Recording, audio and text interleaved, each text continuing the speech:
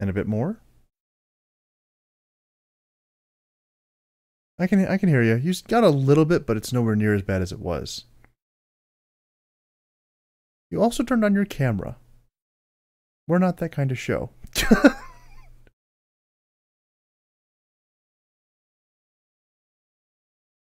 All right, let's see here. I mean, I can show you mine, but it ain't gonna be near as pretty as yours. In fact, mine is a total catastrophe at the moment.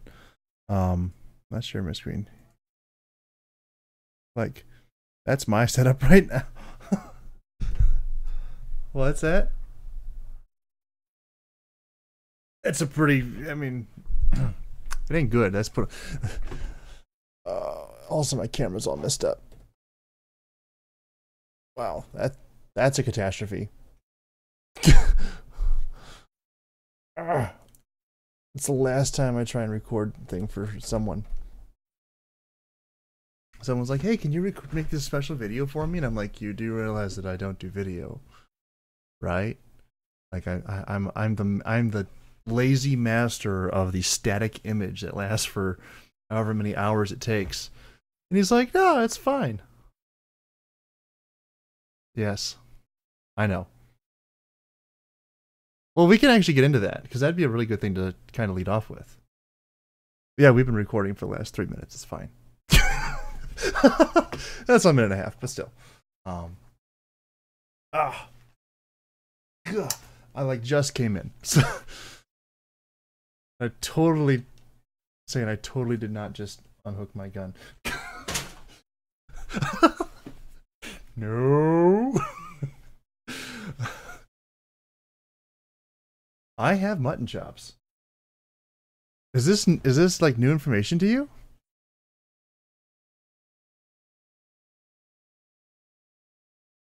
So it's it's kind of a funny story how that happened. Um, I sent you the COVID beard picture. I'm pretty sure I did, yeah. And then I think I sent you the picture that came after that, like after I shaved, after I shaved it off. No, no, where I, I just I just shaved my mustache and I shaved this part, so I had like nice, big, full, bushy mutton chops. Um, because my pastor recommended, didn't tell me to, but he strongly recommended that just for in terms of um, uh, what's the word, decorum and acceptance of the broader Christian community that we're part of, beards aren't really looked on very fondly.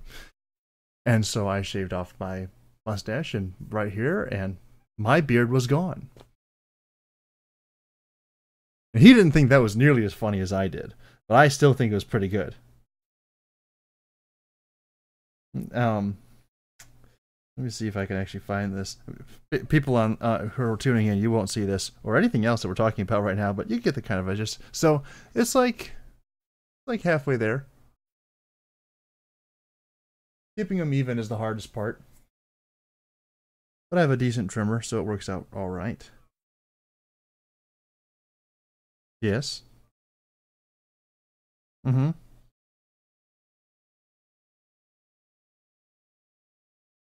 Right.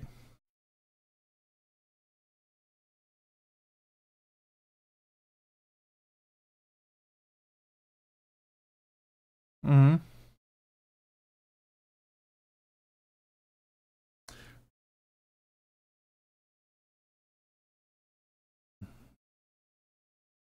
So, I mean, mine, mine, mine were long. Like I had some volume there. Uh, I actually trim these back every couple of weeks, um, so they're not quite as uh, bushy. Um, because I, I am still trying to maintain some level of, of decorum, although less and less so all the time. I'm uh, I'm not a rebel but I do enjoy causing trouble. Um, where is this? Why is that? The pictures on my phone that come up. That makes zero sense whatsoever. Why can't I just share this to Discord like you normally can? Word? I mean, I could just send it to you, send it to you via the phone. could do that. That's no fun. There we are. That's that's what we went to. Yeah, I figured I'd, I'd sent that to you.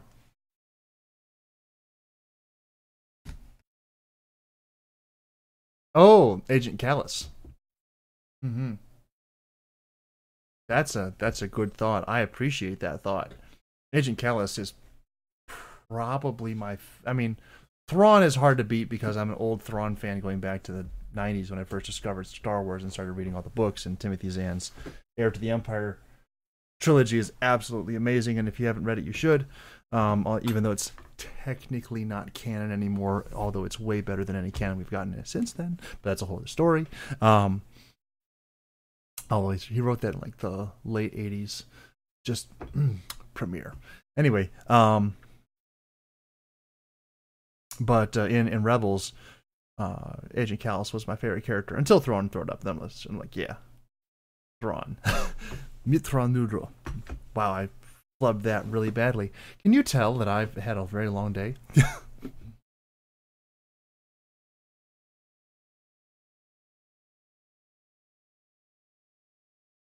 um, how so?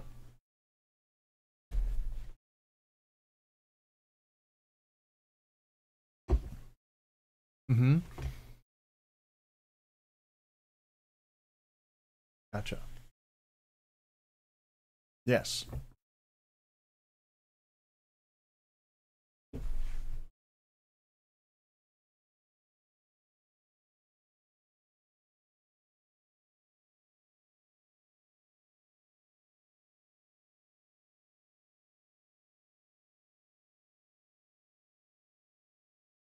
Mm-hmm.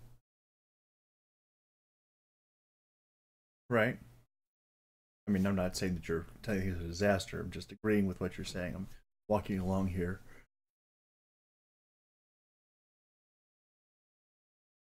Hmm.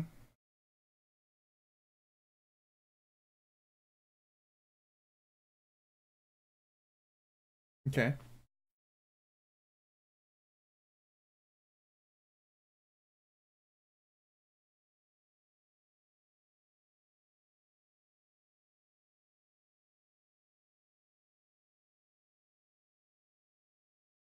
Wow. That's I mean, still, that's awesome. Oh, the things that I could do if I had the, thing, the things if I had things I could do if I had that much space. wow.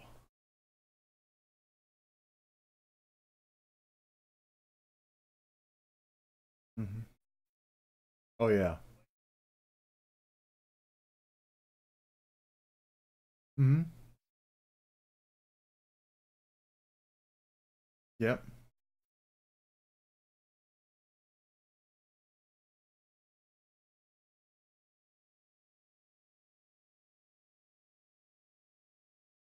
Gotcha.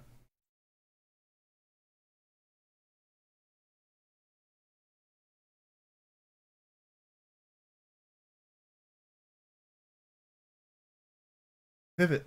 Pivot.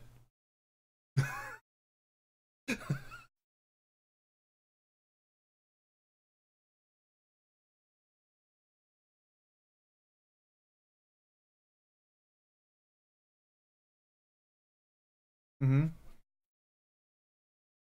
Yep.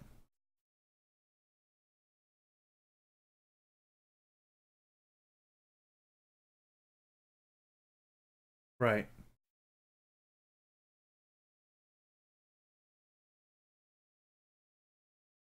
Hmm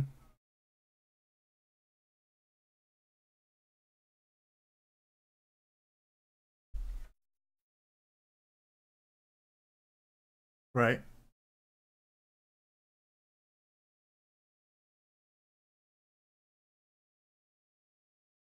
Right.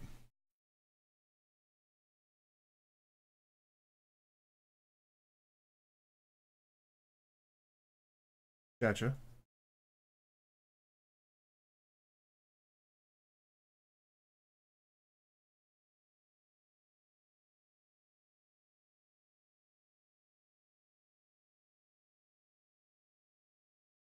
Okay.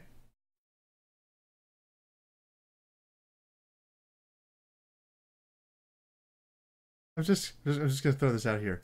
In in terms of like words you're saying that could be misappropriated, like that is a wonderful string of words, and I really appreciate where my mind went with that. Although that was not at all what you were talking about. So.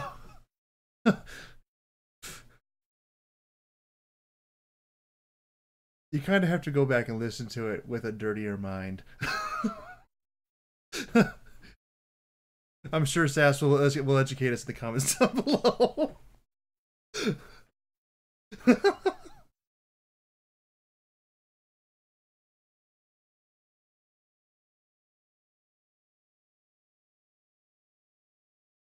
hmm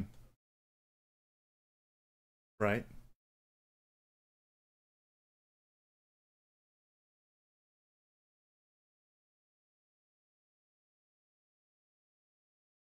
Okay. Mm-hmm.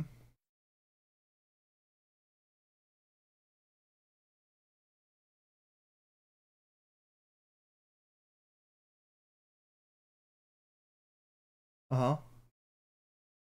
Yep. The scratches. Yeah.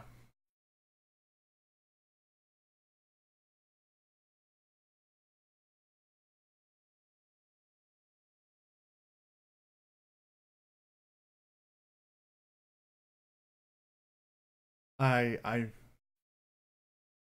know that feeling, and it's not. Well, for me, it's not going to be there for a year. Um, so I moved in here like nine months ago, a little less than that, maybe more. I don't. I don't know what time. I don't know what day. Ten months, something like that. Anyway, uh, that's not the important part. Um, so when I moved in here, my roommate's over there. The assumption was that within like you know six months or so, his wife was going to be coming here, and then they were either I was going to move out or they were going to move out, and so I let him have the big room, all kinds of stuff, despite the fact that I was paying more and doing like I was like, you know, I'm just going to let you guys have this one. I'm going to be very temporary. I'm going to get out. The thing that wasn't very temporary about me moving in here was what I did with my dresser. You have to have a place to hold your clothes, right? Well, the dresser that I have is well that since we can do this um let me take this up here um it is in my closet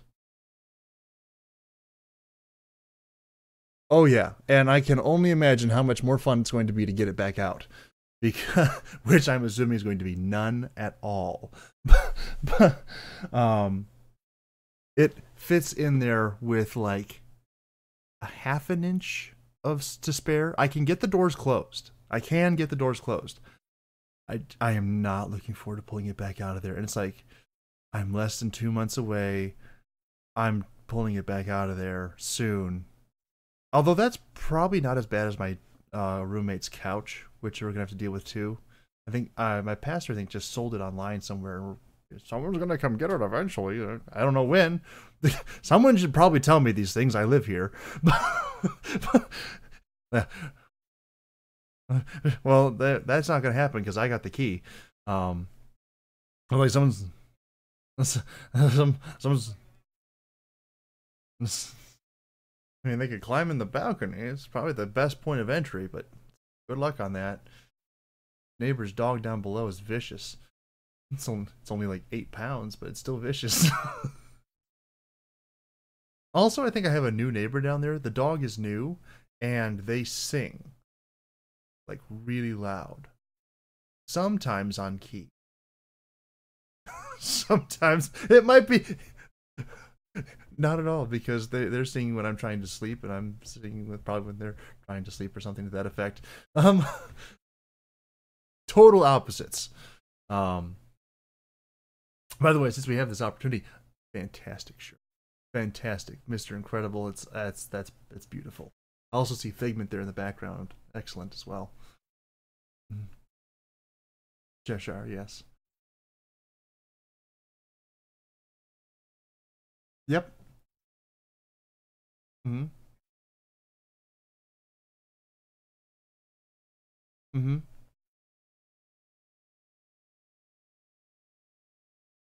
And a Rubik's Cube with. Mm hmm. Uh huh. My lightsaber's right there. And your Switch. Hmm. We should place.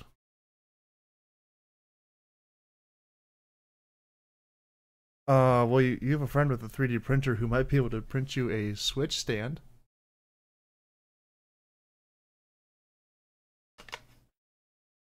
Because sometimes you want to stand like this. So, so my TV and everything is out in the other room but all of my audio equipment and everything is in here. So, ever if I'm going to play my Switch with other people online, like actually more conducive to play it back here, even if it is whoop, on the floor. even if it is um, a much smaller screen. So, you know, I'll sit here and I have my little Switch set up here and I'll just be playing away on it. And yes, I know it does have the stand down here. I, I do, I'm, I am aware of that. But, I mean, look at how flimsy this is.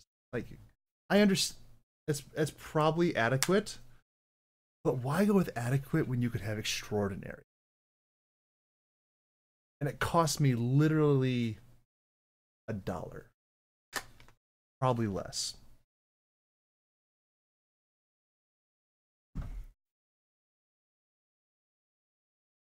Eh.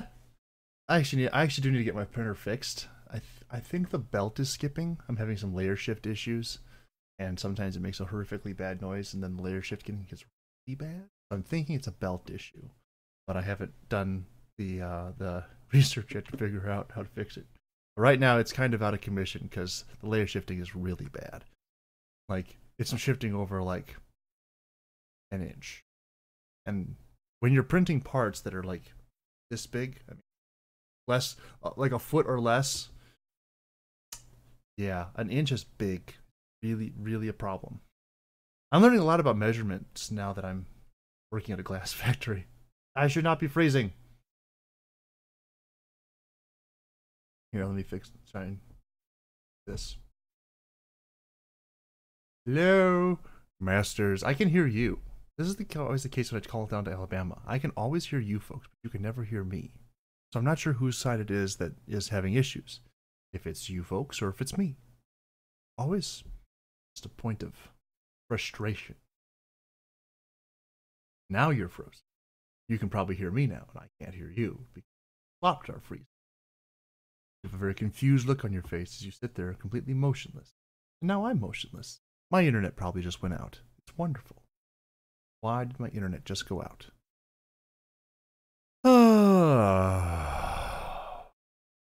I love troubleshooting in the middle of a podcast. It's the best. Isn't it, Sass? Just absolutely glorious. Maybe someday in the future, it will just work. It's secured. Right, there we go. That seems to have fixed it. Hello. Masters, I can see you, but can I hear you? I can hear you. Yes, yes. I don't know. My internet was fully functioning. It says everything's great. Everything stopped working, so I'm like, let's just restart it. And hey, what do you know? It worked. I don't understand what's happening, man. I just I just want to work. I just I just want to plug things in and they work. It's right. Is this too much to ask? You just want stuff to work. Oh.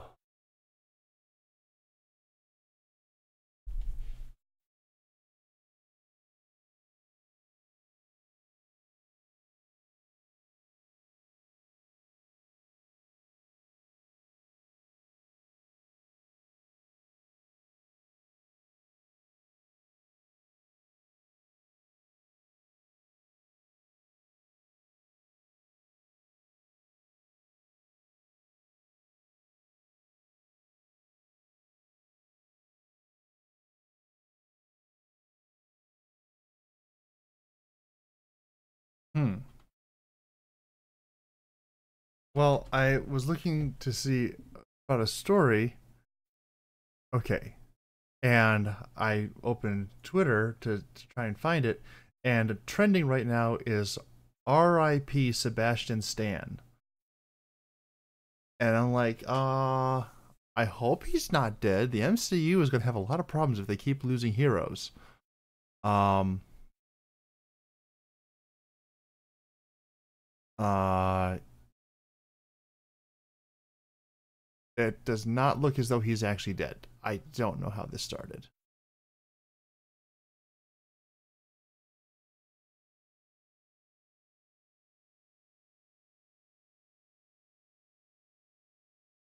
Pass the time.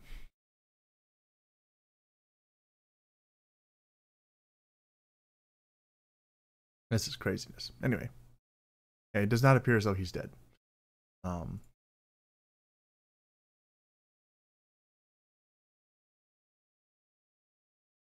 yes, Sebastian Stan is not dead confirmed for today. Tomorrow is another day, but today.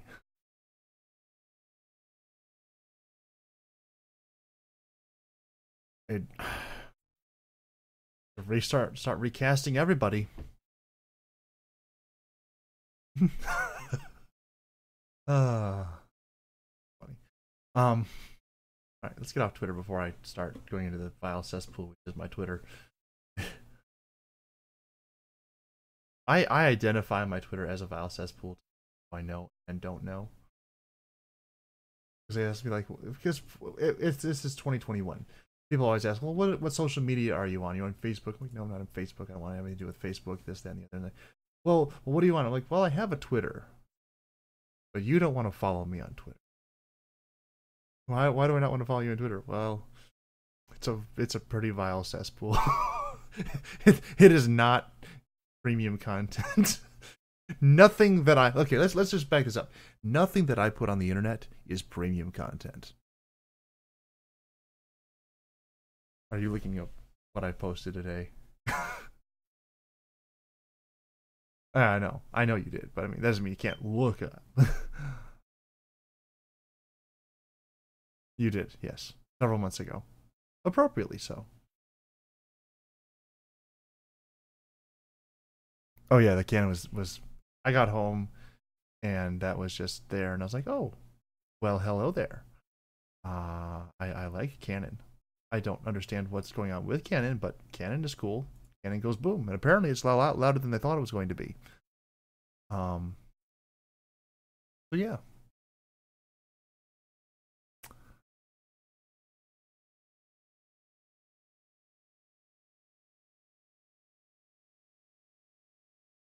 Yes. Yes.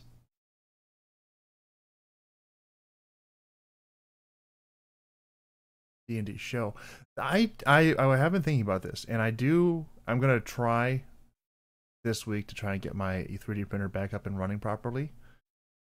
Um cuz I'm we're going to do a show, we got to do it up big, right? So I might print myself some uh, passable looking arm, something like that.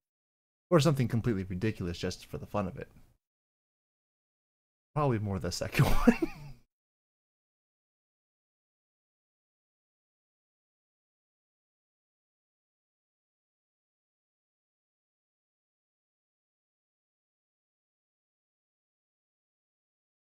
one. uh. Huh. No. I'm I'm done. I walked into Kroger today, and I I walked over, I walked straight over to the stuff I needed to get, and I got it. Walked to the checkout, walked out, and I'm like, you know what? it was it was absolutely worth getting the vaccine so I don't have to wear a stupid mask anymore. Sign the door. Vaccinated people don't have to wear a mask. I'm like, okay, I'm vaccinated. I'm I'm good. I, I'm I'm so done with the mass. It was it was hot and uncomfortable when I was doing it for for fun, and then it became a whole lot less fun, and then it became even more or less fun, then it became even more or less fun. Yeah, uh, you get the point. Um, now that doesn't mean that I'm not going to get like some sort of like actually. Uh... So, what I could do is I could make like a knight helmet, but have like you know the slits and stuff in, in the front, so that it would be um, breathable. That could be, and then there's like you just see like my eyes coming out the top there. That could be kind of fun. Um, that's a very involved print and probably not going to happen, particularly because the fact that right now my printer's not working I still have to get it working before I can do any of that stuff, but it still could be could be interesting. Um, although that would probably depend on how I want to play my character, which I haven't decided on yet. I I have I have a lot of ideas on what I want to do, but yes. Well, okay, so the first thing that occurred to me was like, oh, I should make him a dwarf hybrid, which you are signed off on already, Dwarfling, um, which is a. I I have more about his per- personal backstory and growing up than I have anything else. I don't know what class he is. I don't know what he does. I don't know. Okay, well, I do kind of know like what he does. Um, so my thing is like, so something happened in the time past. What it was, not particularly all that important. And there was this rough, tough kind of dwarvish woman, right? Like Lord of the Rings dwarvish woman, where, uh, you know. People here don't really believe that there are dwarven women. They simply think that dwarves spot right up out of the ground. And then Aragorn's over there going, "It's the beards," um, kind of thing, like a proper dwarvish woman. Um, and uh, she being the survivor of some grand campaign is like stopped in a, in a tavern one night and she uh it's like has her money and her reward and everything and she's going to settle down and find her find her forever home and um she gets to heavily drinking and heavily drinking and heavily drinking as dwarves are prone to do and she stumbles out into the night and sees a very uh what she assumes in her drunken stupor is a very fetching half a half a dwarf, and she picks him up and carries him home. and uh, and that was in fact the halfling father, who was much more mild mannered than she. Um, and then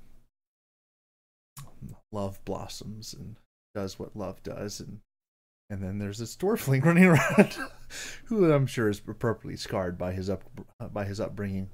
Um, appropriately. So I have a couple thoughts on how I want to play him. Uh, I kind of want to do sort of the dumb yokel kind of thing. Like he's lived like retired adventurer army person and then like this just farmer. And so when she order notwithstanding when she wed and bed him um you know they were just kind of moved out on the farm because that's what he did and she had money and she didn't want to go adventure she didn't think she had any more reason to go adventuring or she just felt like you know we should be with my husband kind of thing um and just follow whatever he's doing she she like she has like this i, should just play her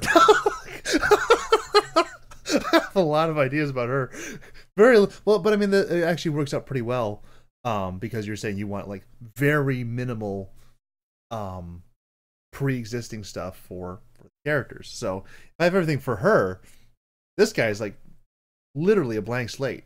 He comes wandering in off the farm probably just to do something and like the group that was supposed to get together like well he's stout i've never seen a halfling like this before um or i've never seen such a short dwarf maybe ah, he could be a burglar. but it was a good joke, right?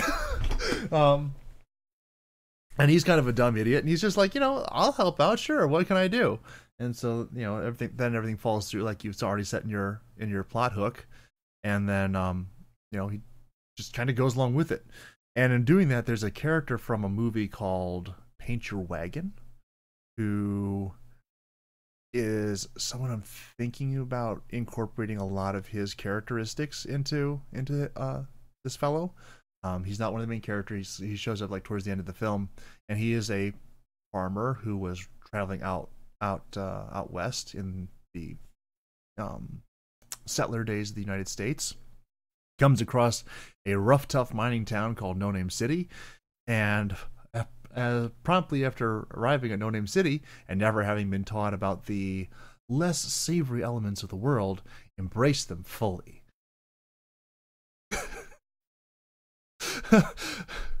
uh, I,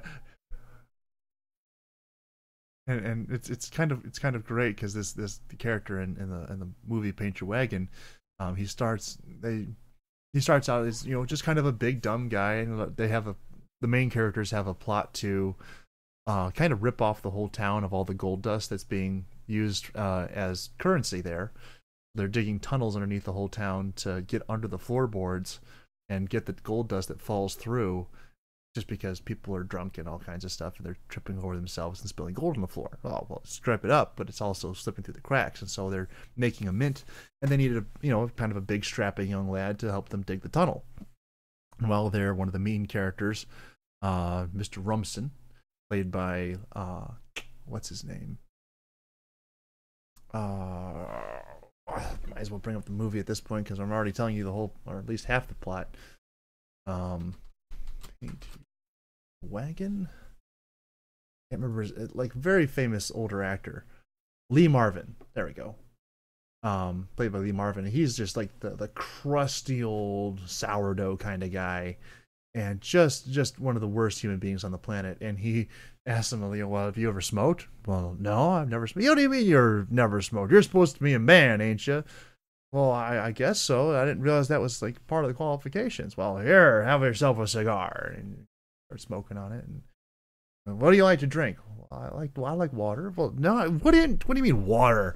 Well, yeah, and it goes down the whole thing, and he ends up getting involved in all manner of depravity.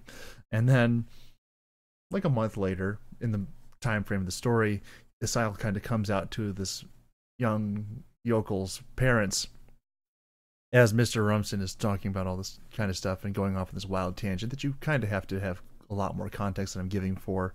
Um, I, I, like I've left out the main point of the whole movie at this point, which is really funny. Um, I'm very proud of myself for not having actually spoiled the main plot. Um, like everything started to come out, and they're like, "You're not supposed to be around. You're, you're not going to hang around him anymore, because you never know if he's going to get you involved in, you know, drinking or smoking." And he's like, "I, I done those." What? What do you mean you've done those? Uh, what? What else could he do? Have you go to the ladies of ill repute? He goes, "Oh, that's the best one." and uh, of course, his parents are just horrified. It's it's great. So you know, kind of have this completely naive idiot who just kind of stumbles through the world and just kind of does what people tell him to do. Um, he doesn't really qualify, in my opinion, as being like a rogue. Not really even so much as a druid, because druids be very intelligent about some things. Um, I'm kind of leaning towards fighter just because you know it's as basic as you can get. Um, he's not angry at anyone, so he can't be a barbarian. He's not on some sort of magical quest, so he doesn't qualify as a paladin or a cleric. He's not magical in any way, so he's not a sorcerer or a warlock or anything like that, or wizard. So he's just he's just kind of there.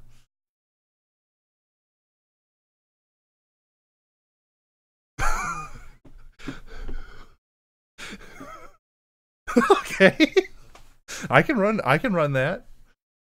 Like he he just shows up. Like at one at some point far down the line, I really am kind of tickled by the idea of having a 100 pound dwarfling running around with a great sword. I think that is hilarious, and I want to see this happen.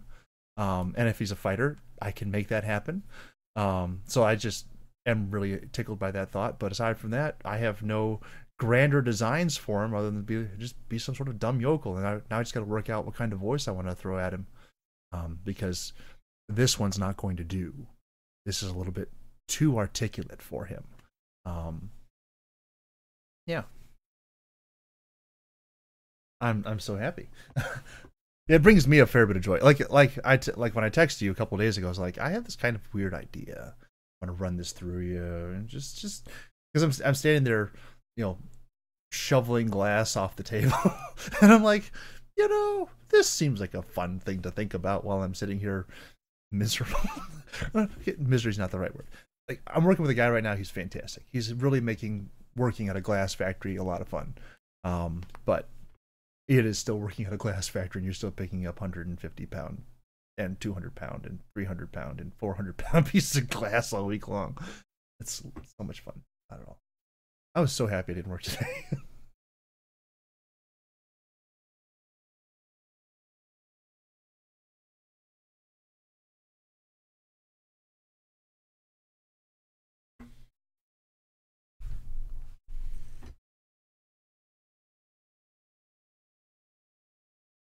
Okay. Who all are involved, by the way? I know it's me. I'm assuming Monkey.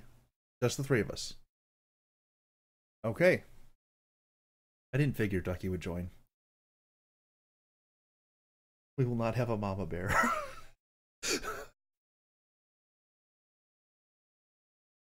okay.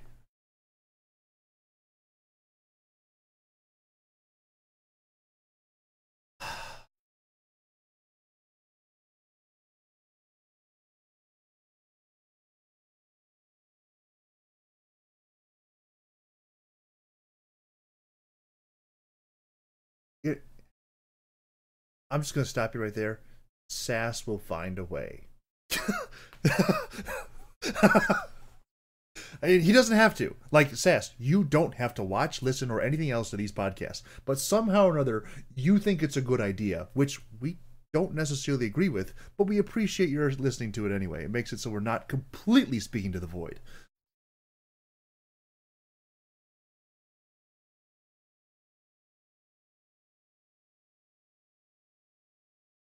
Which the answer turns out was one person. yeah, actually, actually, it's kind of amazing. I I don't really have a way of uh, classifying whether they're unique viewers or not, but we have not had a single episode um go out that has not um garnered like eight or ten views.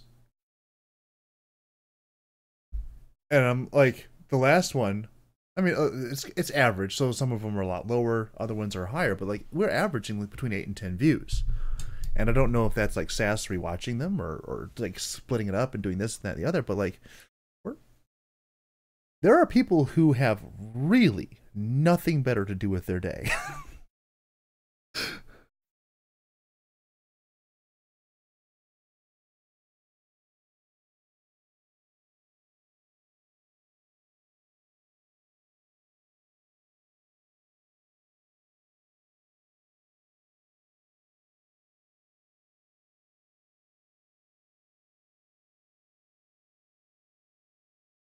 mm-hmm. Are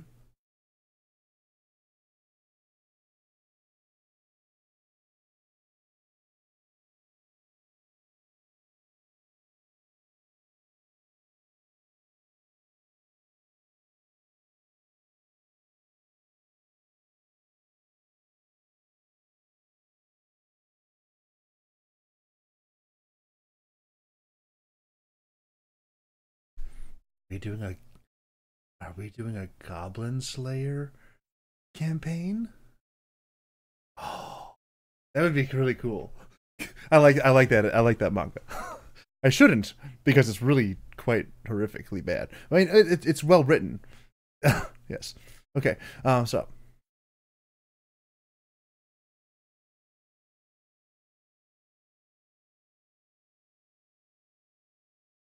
Okay. All right. Okay.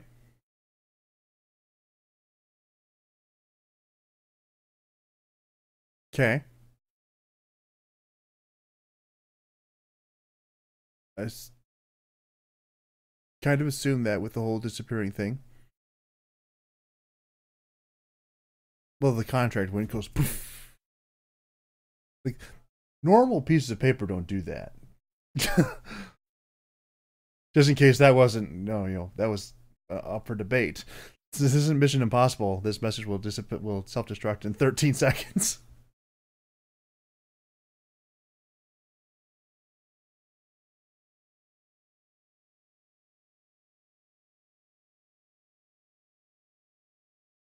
Okay.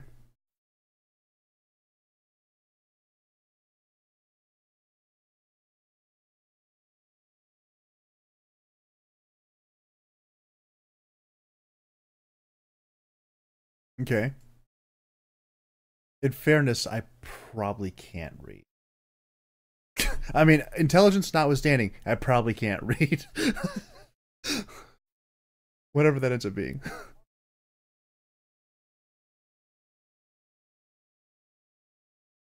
Okay.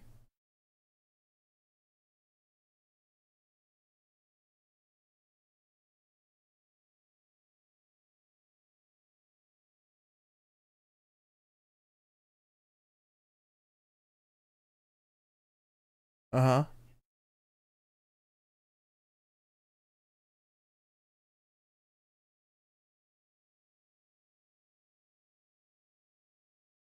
Okay.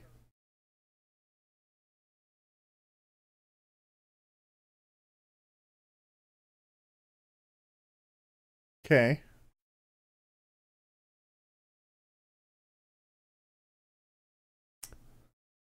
So so this says an awful lot um about the duration of this because there's there's only a certain l- no.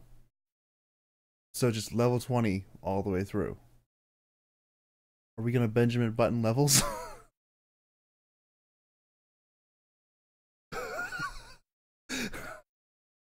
this cameras thing is really throwing me for a loop here because there's a lot of communication that's happening that's not being heard. This is an audio podcast. we don't have video. I'm not prepared to take this.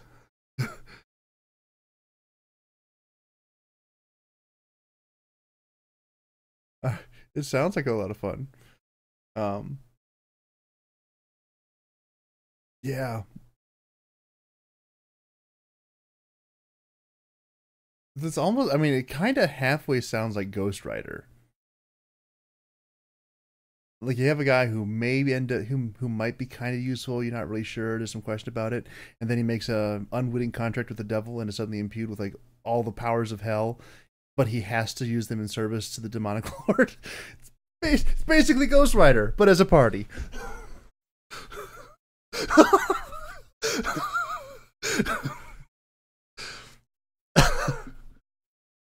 oh.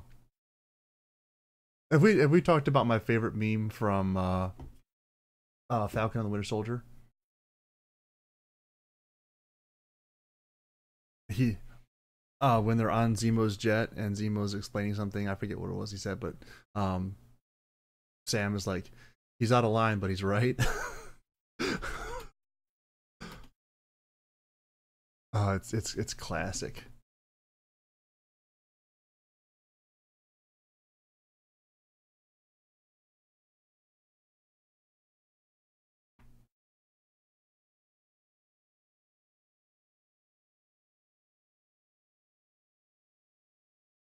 Mm-hmm.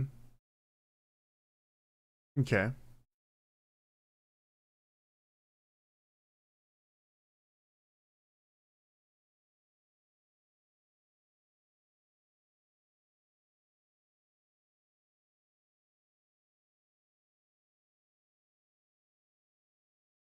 All right. So we will be kind of ben- Benjamin buttoning levels. Okay. Oh, that's almost so. Oh, there's so many like. You're not you're not an anime guy, right?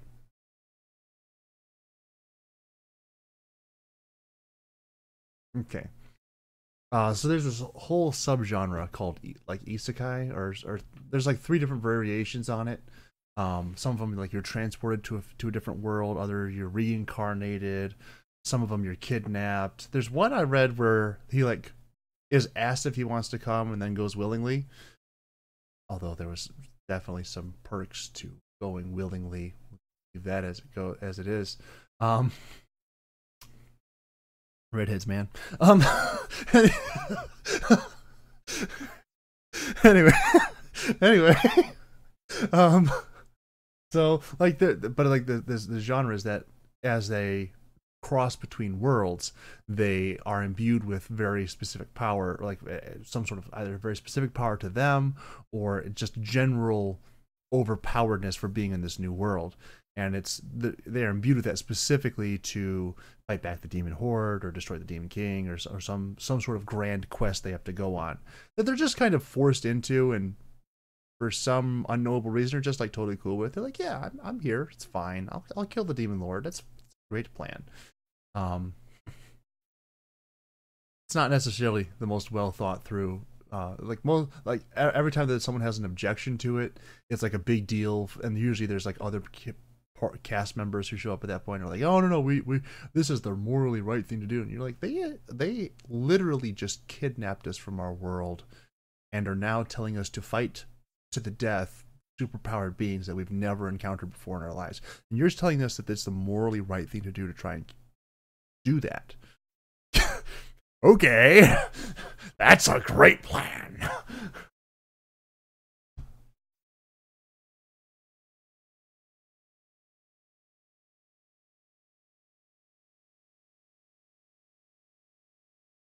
right.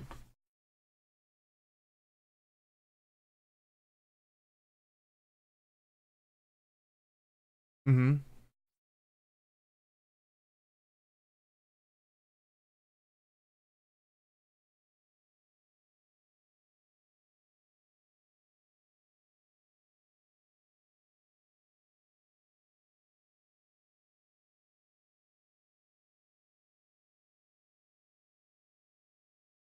Okay. Gotcha.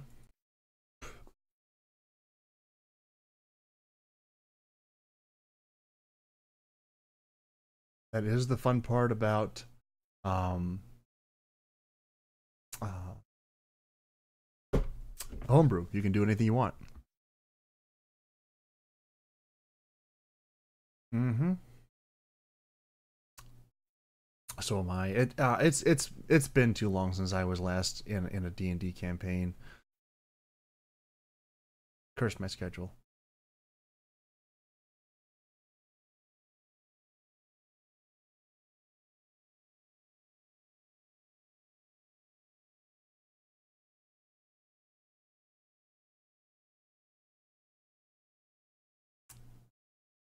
Somewhere in the back of your mind.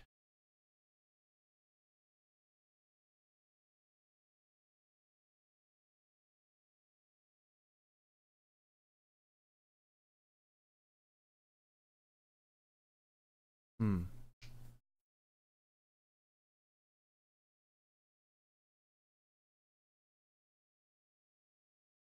I mean, you have to use your brain to hate your brain. Kind of, kind of, kind of weird juxtaposition there. I hate the thing I'm using to think about how much I hate the thing.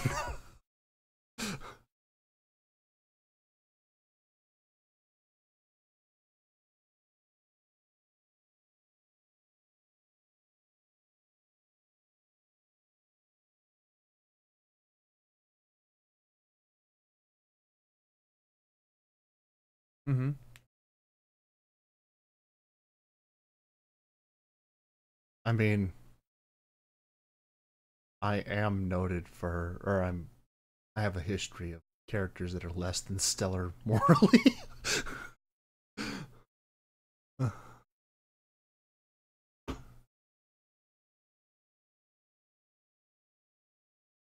mm-hmm.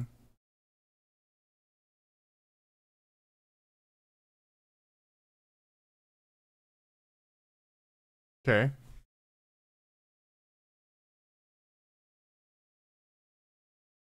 Okay.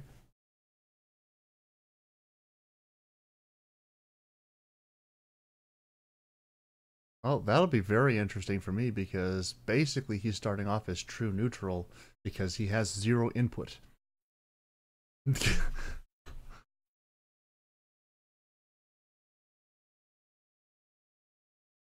oh yeah.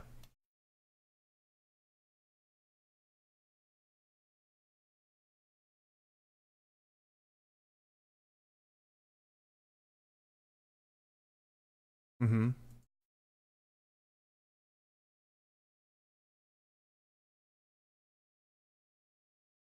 Right. If it had kept up, I'd have probably got him evil.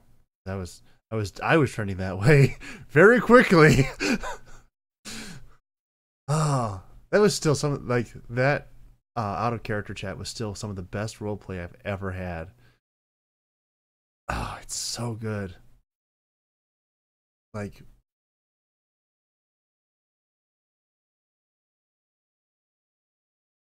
hmm.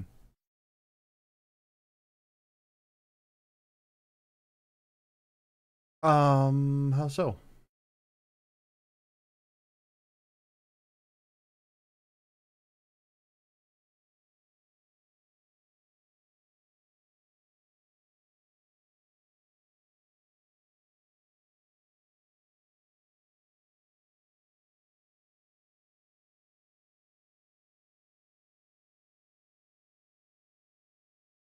Mm-hmm.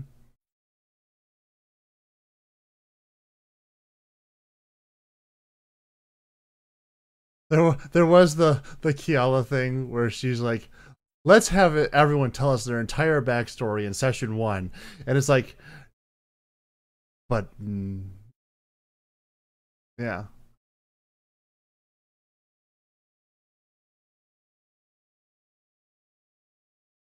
okay,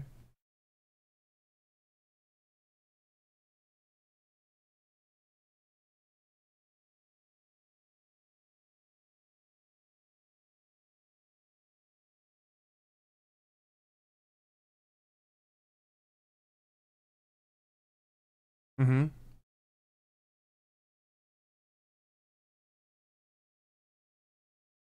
okay,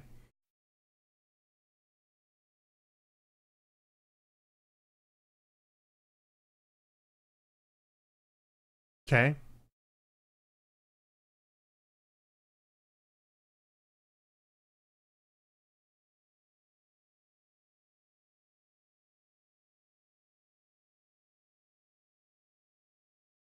mm-hmm,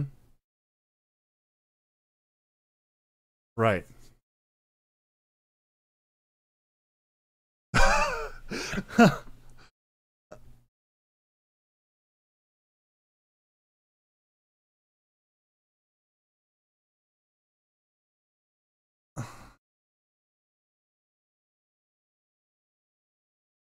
mm-hmm.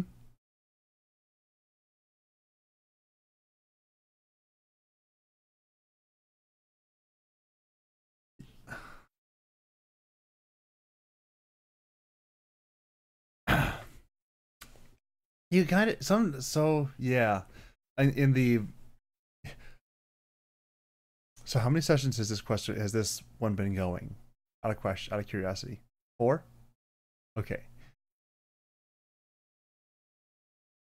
Because the question is, will Mo- will any of Mumble's campaigns actually make it to like session ten? okay. I I think we had four for Theros, and then weird things happened. okay. Okay. Um. Ooh. Tuesday after next, yeah. Um. But yeah, the the longevity of Mumble's campaigns is always in question. um. But but in but in the uh the ill the ill-fated epic of Theros, it ended up being more of like the short story of Theros. don't blink don't blink or you'll miss it. Um.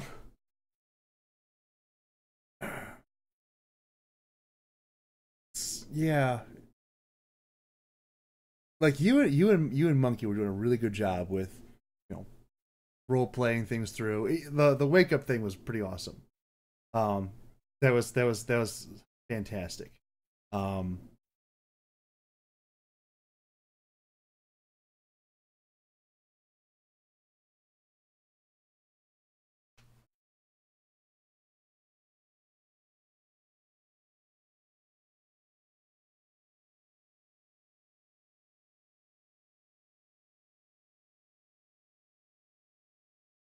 yeah.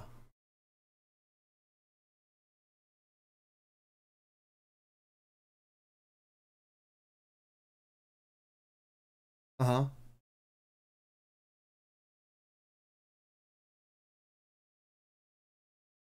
Yeah. Um, that is that is kind of the difficulty. Yeah. With him, there would be no running for mayor.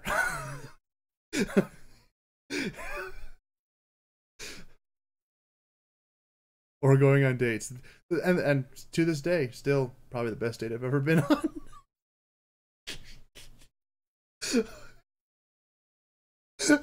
and I wasn't even there.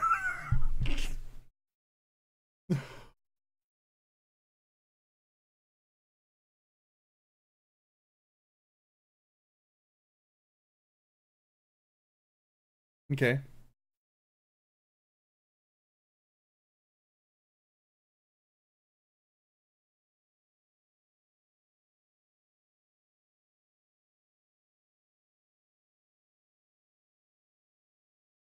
Right.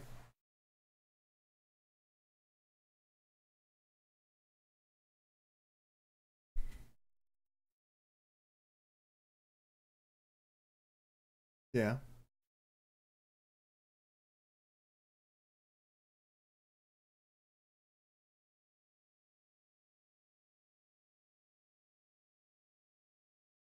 Okay. Yeah. Uh huh. Yep.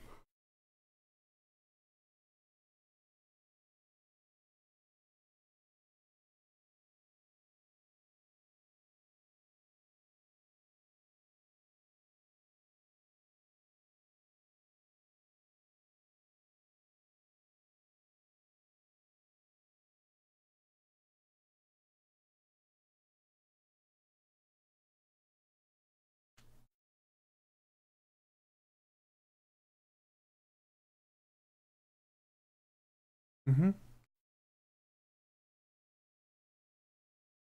Yeah. That's what I did.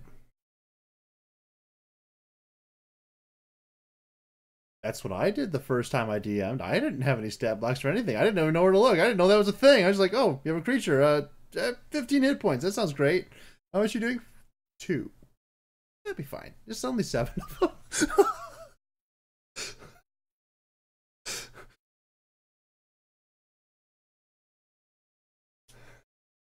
I had no idea what I was doing. It was, it was fun. Hey, you're the one who tried to grow up the elf.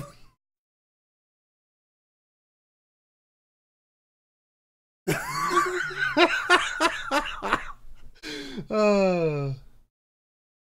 that is true. Yoda's a Sith. How do you figure that?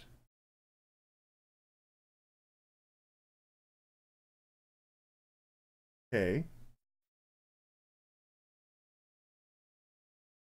Hmm.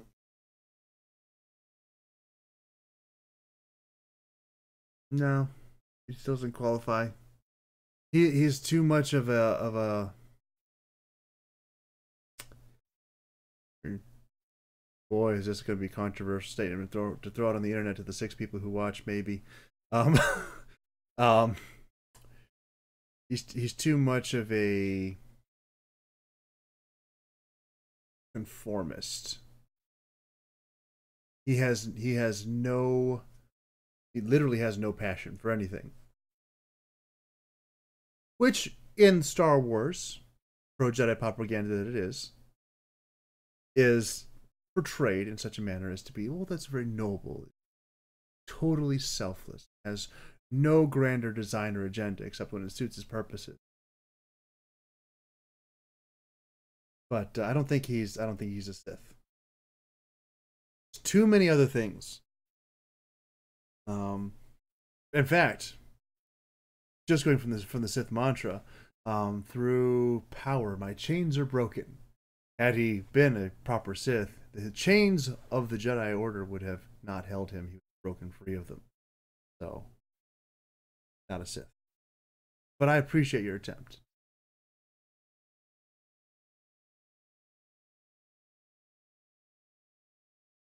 Wait, not not through power, through victory. My chains are broken. They're very results oriented. Power is not the end result.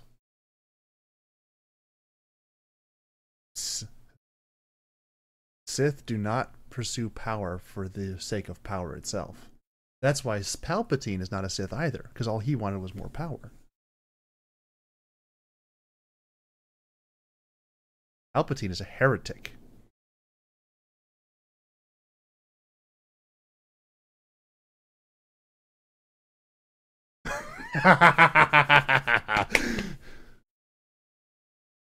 Who's blowing up the foundry? There's like 9,000 fireworks going off outside my window right now. Either that or the war has started. Just in case. Let's say that one that, that one that one's empty. if I get the other one out, I can do that. uh.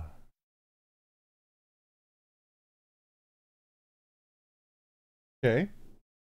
You a baseball fan or were you just kind of there?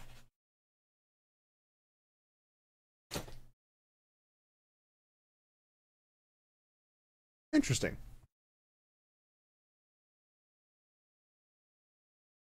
Mm-hmm.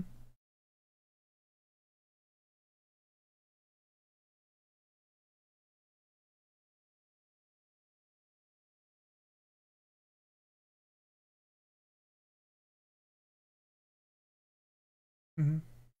Yeah.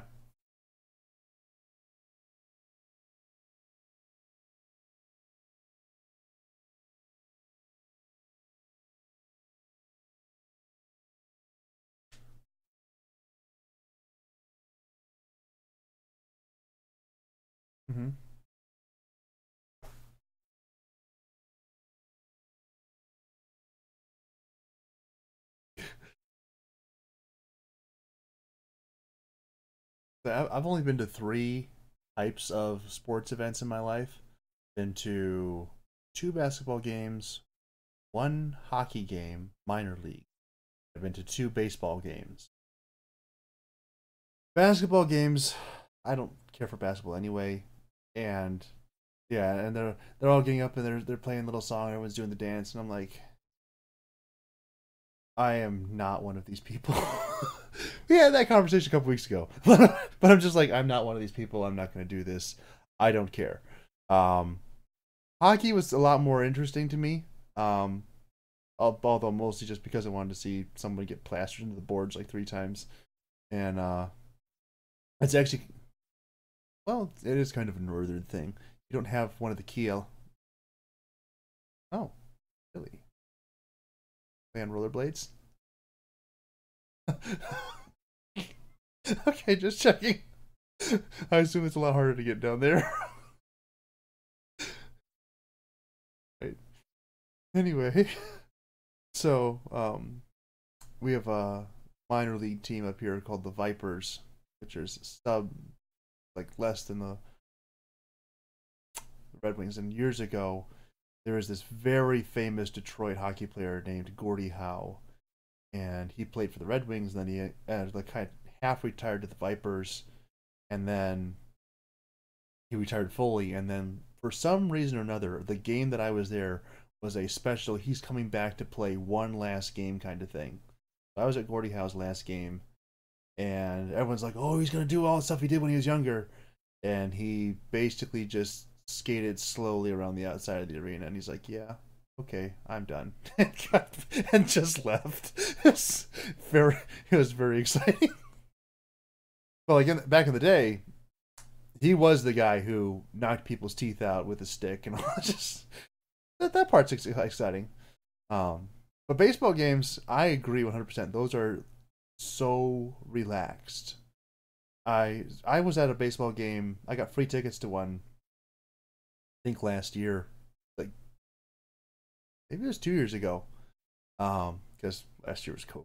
That, but and I and I definitely wasn't wearing a mask at it, so was probably something else, probably the year before.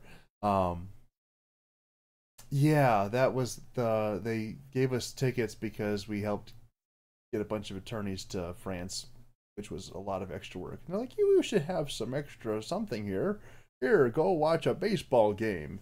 I'm like, that's exactly what I want to do with my time. um, but I went with a friend of mine because he gave me two tickets, and we just sat there and talked the whole time. And occasionally we're like, oh, what's the crowd being upset, you know, excited about? And then I don't know. Okay, like great seats, I assume. I don't know what, what qualifies as good seats for a baseball game, but we were like right at first base, so it's farther than I've ever gotten in life. Um.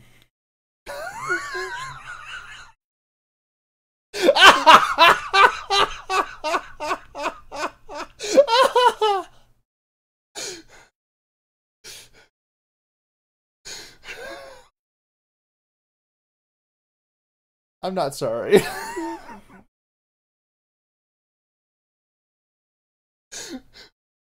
I walked you right into that. It was great.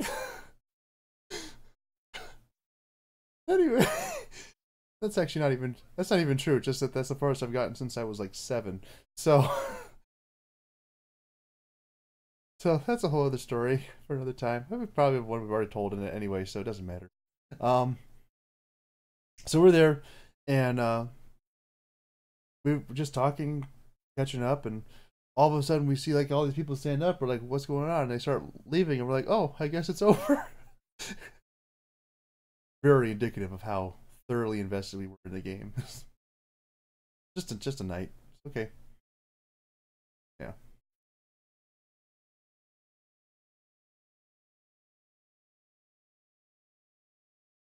Hmm. You're getting like a list going here.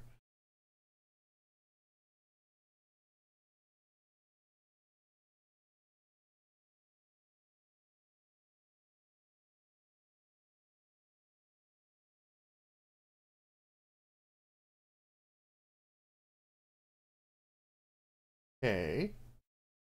Okay.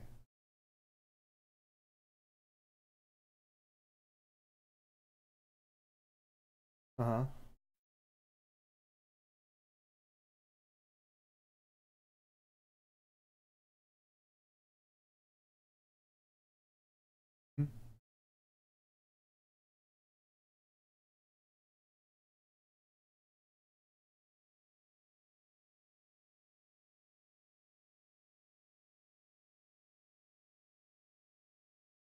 Mm-hmm. Right.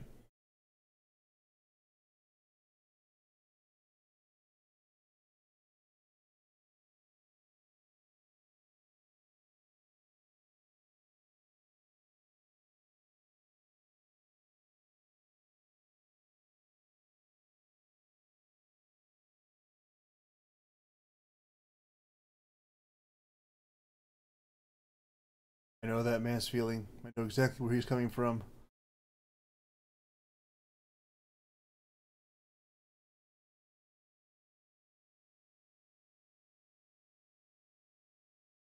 Mm-hmm. Right.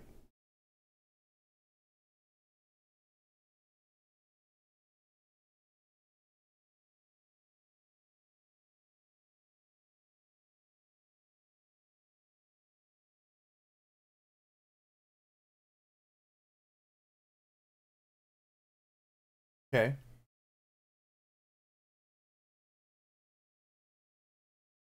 So to hers, he's a challenge.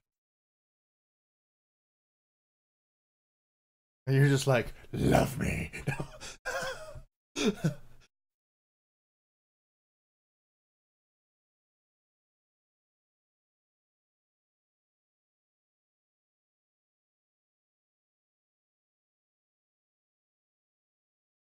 okay. But like, how?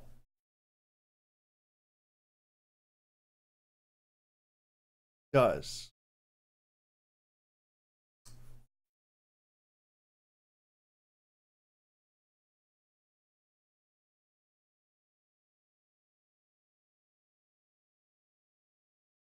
Up or down? Oh, the the down. Okay, yeah. You'd have to wait like six years for her to get into your bracket. And then it would be creepy because you're like, you knew her when and you waited how long to do what to. It's not creepy at all.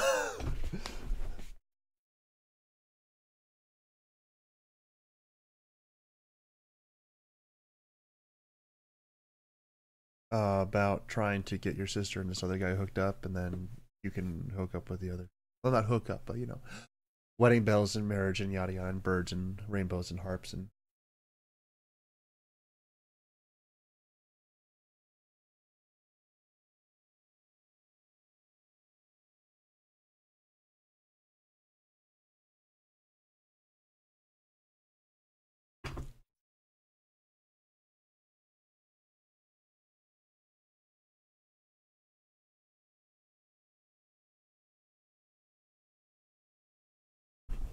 Right.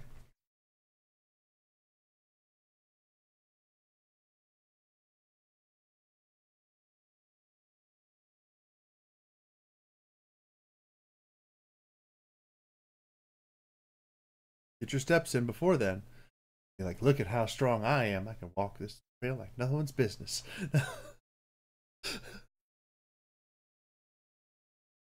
uh-huh. Uh, did I ever tell you the story about my uh, elementary school principal?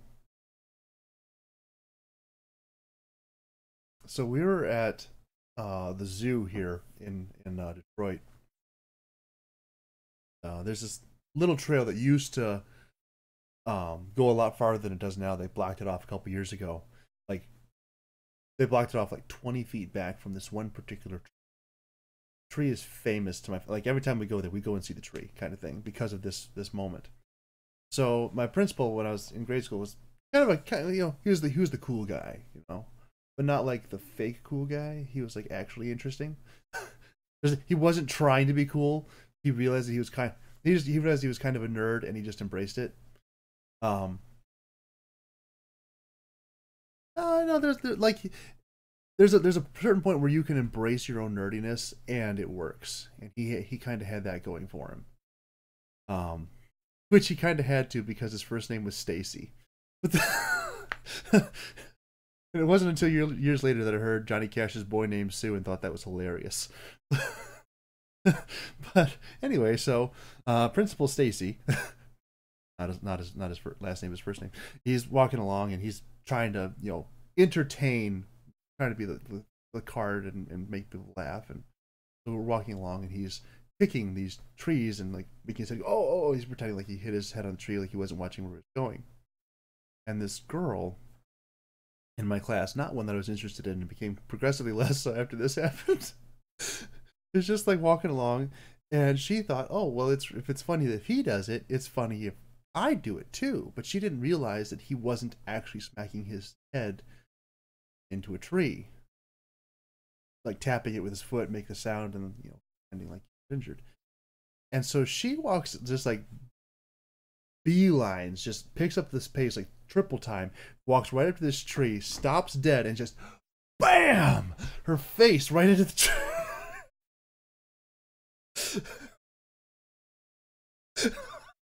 Knocked herself down, and we're all like, of course he was he was a lot more sympathetic because he realized that he was in fact the problem. She'd have never done that had he not done that. But it was still like, wow, I can't believe anyone was actually that stupid. that was that, that was one of my first in, introdu- introductions to the concept, although not the word, of Schadenfreude. Ah, absolutely gorgeous. Not her, but kind of looked like a tree. No.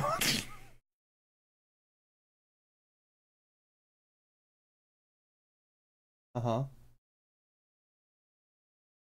You moved down there? Okay. Any any further information about that? Like Okay. Like what part of Michigan is he from?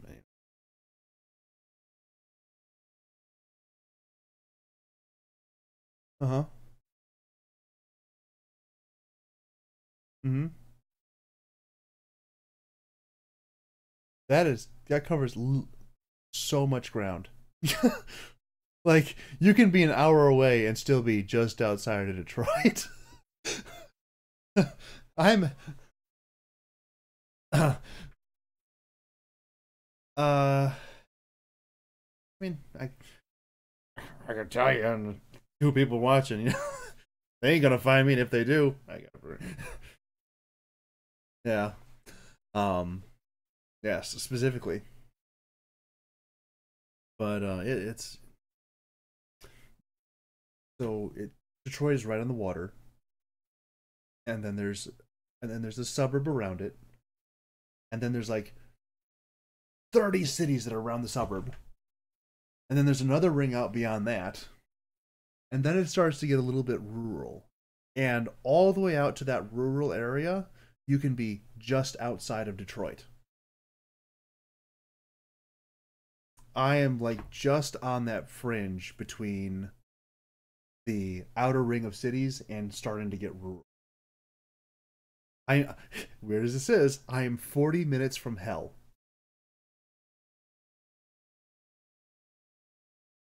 Hell, of course, being the city in. Actually, I, I did some research on it after I found out how close I was because I never. I it's always that that idea like some places you just kind of want to go to go. Like I want to go to hell. That seems that seems like a really great thing to do. like I also want to go to Cheboygan, but that's for a whole other reason, and not Wisconsin. I want to go to Cheboygan, Michigan, because I think it's funny to say that just the word Cheboygan to me is is, is hilarious.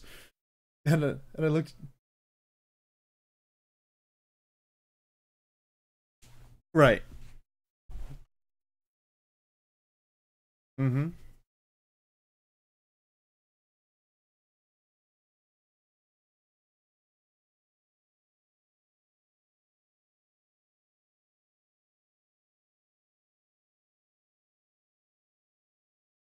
It's really funny. I, I'm I'm actually checking with it right now.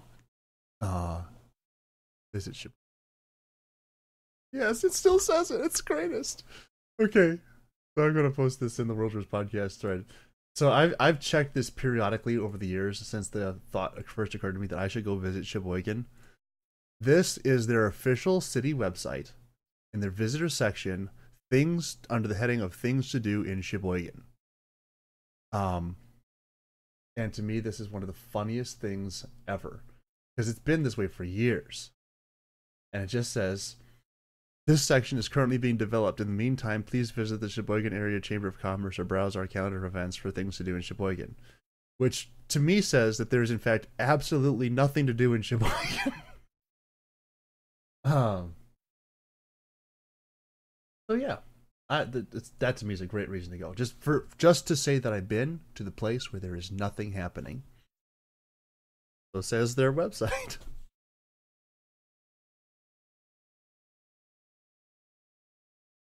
It's a four-hour drive. That's why I haven't gone. Uh, okay. Actually, it's probably like five and a half. I mean, it should be five and a half. Like it's it's all the way at the top of the mitten.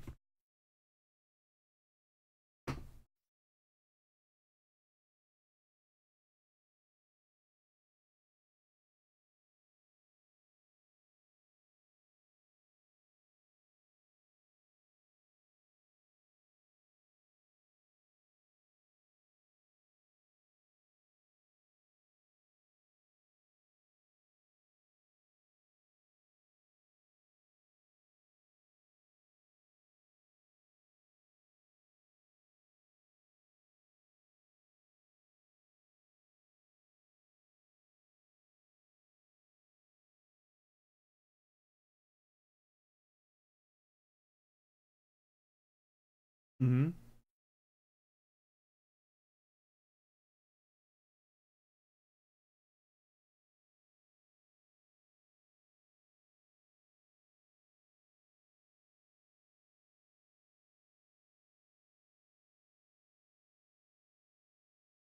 Yeah.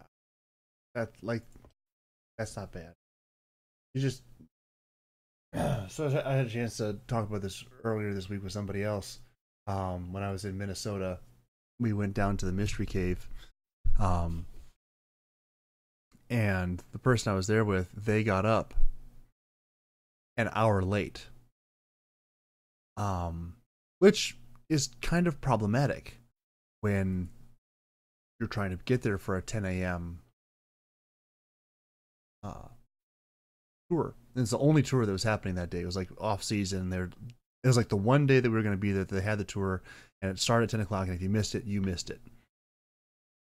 So she says to me like, "Okay, we're gonna get up and all this kind of stuff." And I says, "Okay, great, fine, not a problem." So I get up and I hear nothing and I see nothing and I try to contact her and I text her and I knock on her door and there's nothing and there's nothing and there's nothing and finally like a long time after we should have left already she finally like opens the door and she's like I just got up I don't know what happened I just slept through everything and I'm like well if we can leave in 15 minutes we can still make it she goes, okay, really? I said, trust me. so we left in 15 minutes and we made it. And then we found out that, in fact, the information on the website was wrong we could have taken our sweet time and gotten down there like 11.30. But, you know, that's a whole thing that didn't end up playing out that way.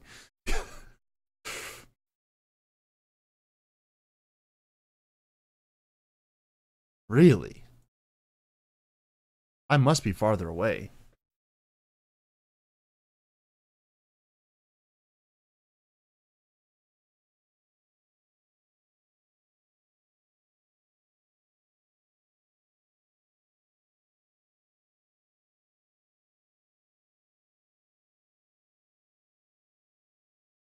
Okay, so that is probably the wrong information.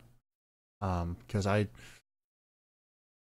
short while ago, I was doing calculations to go down there, and um, uh, it was about 11 hours to Huntsville. So, I mean, I have to message you and just tell you. Does like the city's not going to help anyone. Um, it's called South Lyon. L Y O N.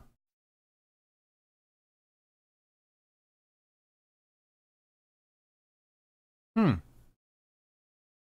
That's interesting.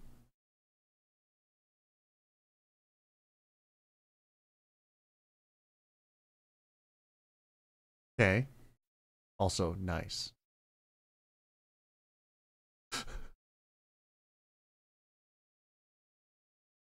I'm sorry. Ish.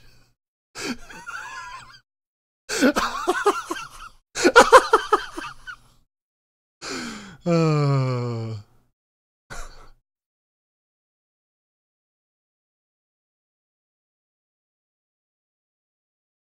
No, I would never like that's going out of your way.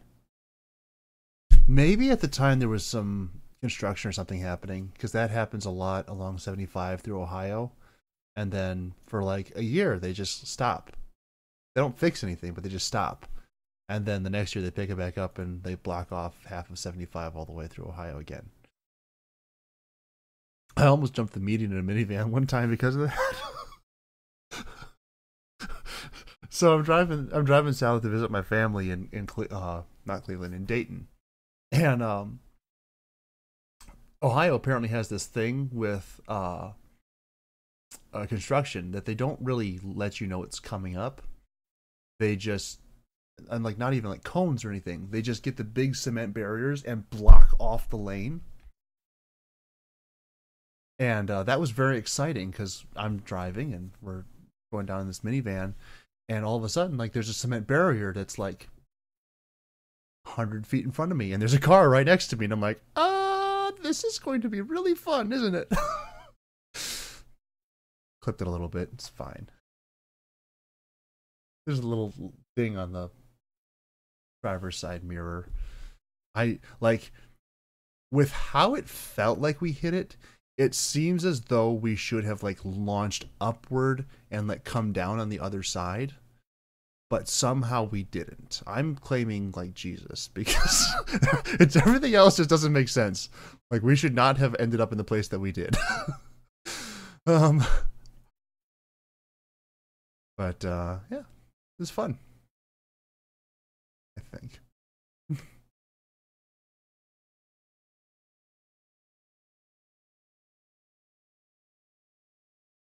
Yes.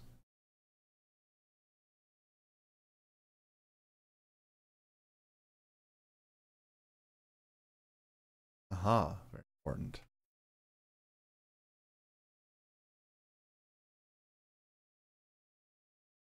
I mean, it's very important in like two weeks, but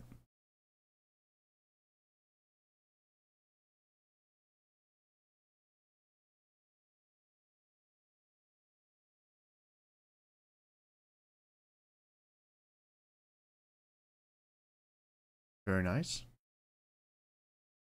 So basically, do we should we just like make two characters at this point? Make one for level one, one for level twenty, and then, or just or just adjust it accordingly. Just just for, okay.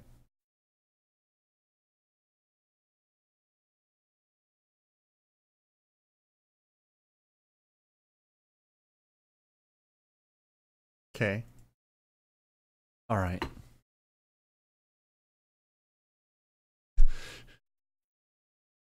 Now that you've mentioned the whole derailing thing, I'm like, I wonder if we can stretch session one like three weeks.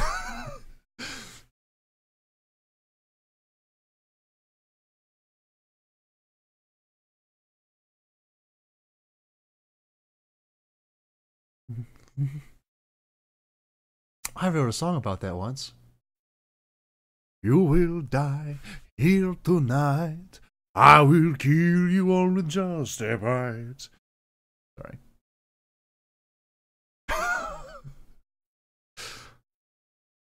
the trick is when you do when you do that, it's very much in character. Like it has to be in character. So I'm sitting here in my tiny little apartment, in my tiny little room, in my tiny little apartment. My room is smaller than my apartment. As crazy that is to imagine. This is not the TARDIS. Um and and so like I'm in here in my tiny little room with like neighbors 18 inches that way. And I'm like and I'm just like here tonight I will kill you. yeah. In in full character.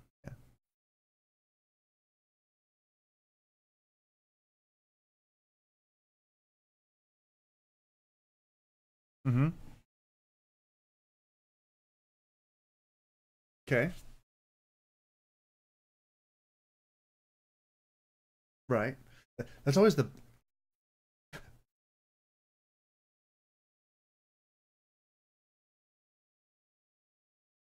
hmm I think the lady down below me who sings, I think she is connected with the church somehow because I've heard a couple songs where it's like uh where, where there's like a clear mention of Jesus and God kind of thing, but it's very sporadic and then there's other times where it's just like that's not a Christian.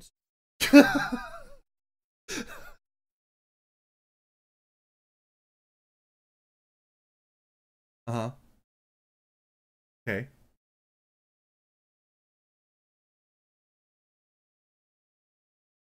Mhm.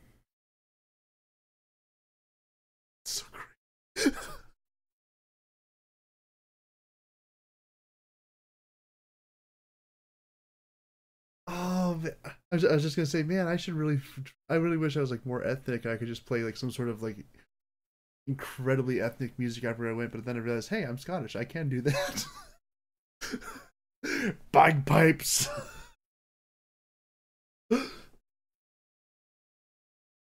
Uh, no, no, no, not to play them, but just to just to have them. just, just, just like, just like have it blaring out of my car everywhere I go. Um, that'd be so fun. Although, as much as I do like bagpipes, there's a limit. Like, there's a there's a defined limit where you have gone too far and you must now stop. Oh.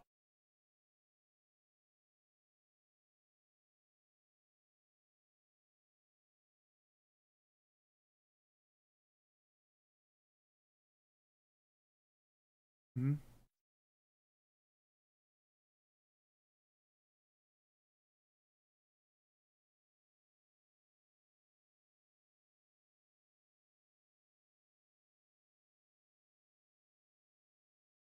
Hmm. Well, yay for the home team. Unless they're facing Detroit, in which case, boo for the home team. I don't even care.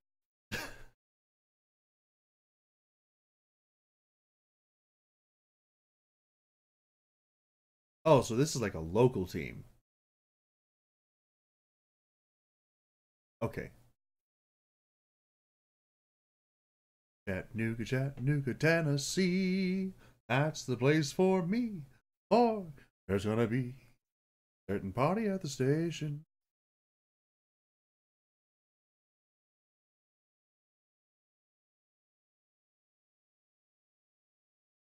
Better be the Chattanooga Choo Choos because that's what the song is.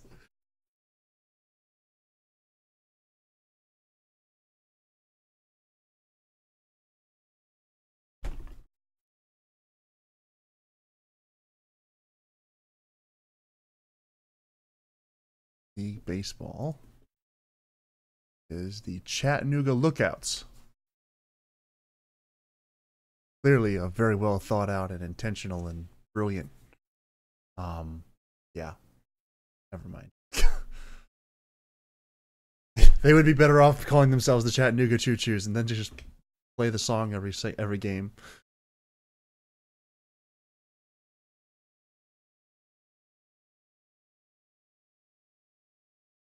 Oh, I know that feeling. we went out to eat a couple weeks ago, and I, I I've now made it kind of a habit, which is not a good habit, but I've made it a kind of a habit that every time I go out to eat with like a group of people, and there's like you know families and couples, and all kinds of stuff, and they're like, oh, and we'll be on this bill together, and we'll be on this bill together, and we'll be on this bill together. And I'm like, and I'm all by myself, and um Everyone's getting tired of me. I think that might be why so many people are trying to get me connected with a girl, just so I'll stop singing the stupid song. uh.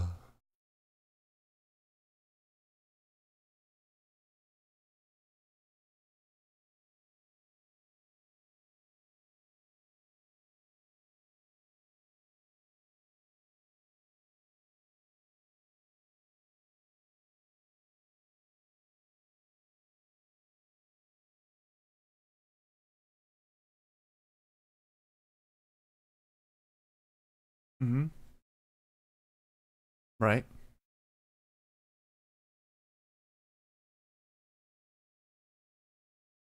Okay.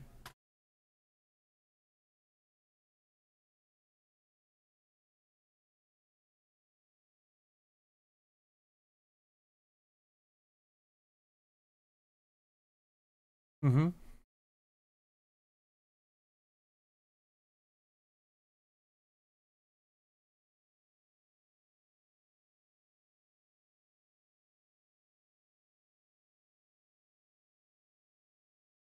Okay.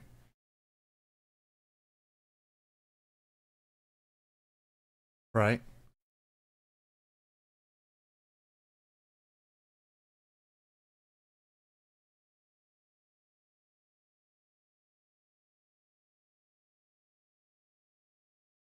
Uh-huh.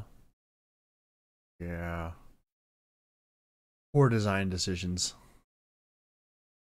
What's that? What's that Reddit? Uh, great idea, poor execution.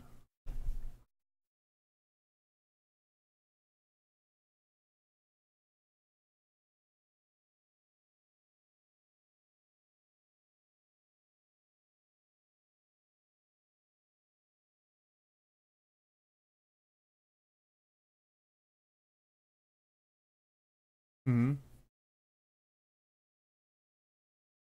Right.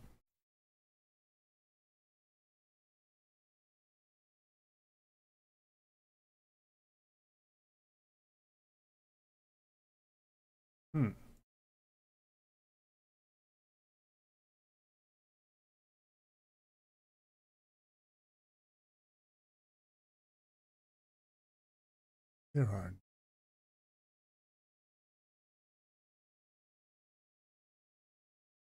Someone's probably having a laugh. Thought that was funny.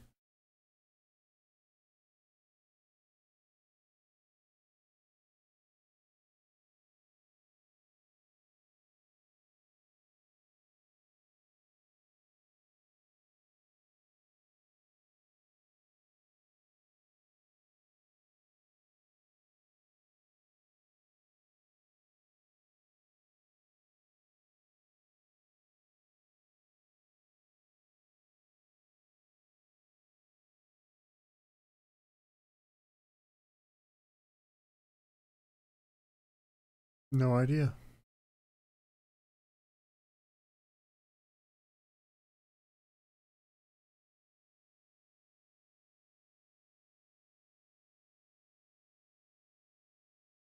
Mm-hmm.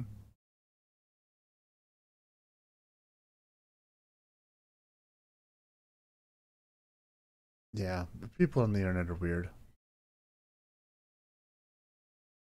You you know, like the the sad face uh guy drinking a coffee meme. Uh,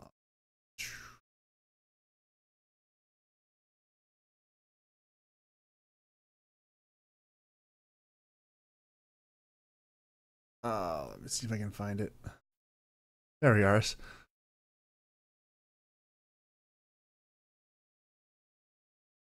Yeah. Diversifying.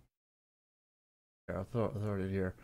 So this guy, for whatever reason, just got hired to do like stock photography or have his picture taken for stock photography, and then he has this rather famous picture where he's like has a, a mug, and uh, he has a bunch of pictures, but like all of all of them have kind of the same. all of them have the same expression, and he says he's like completely happy. He's a very happy fellow, but like he has some of the most dead, unexpressionless eyes ever. So he's kind of like, uh, oh, it's like, um, hide the pain, Harold. That's his name. Here we go. That's the that's the that's the classic uh, picture that we get of him. But it's just stock photography, and then someone saw it and thought it was yeah someone saw it and thought it was funny and so it's like totally upended his life but he did a ted talk which he's now um uh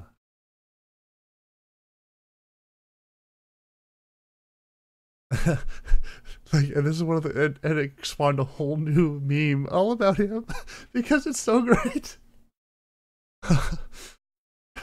So it's like he's he's kind of upset about it but he's trying to be a good sport but at the same time he's like this is not how my life was supposed to go and so he gives this ted talk about how it's affected him. And he's like he's like well and this is not something that I ever planned to be in you know, when I set out in life or when I you know signed up to be part of this stock photography photo shoot. But rather that it's a role given to me by the internet people. And um that might be even better than the original one. Ah. uh, it's it's so good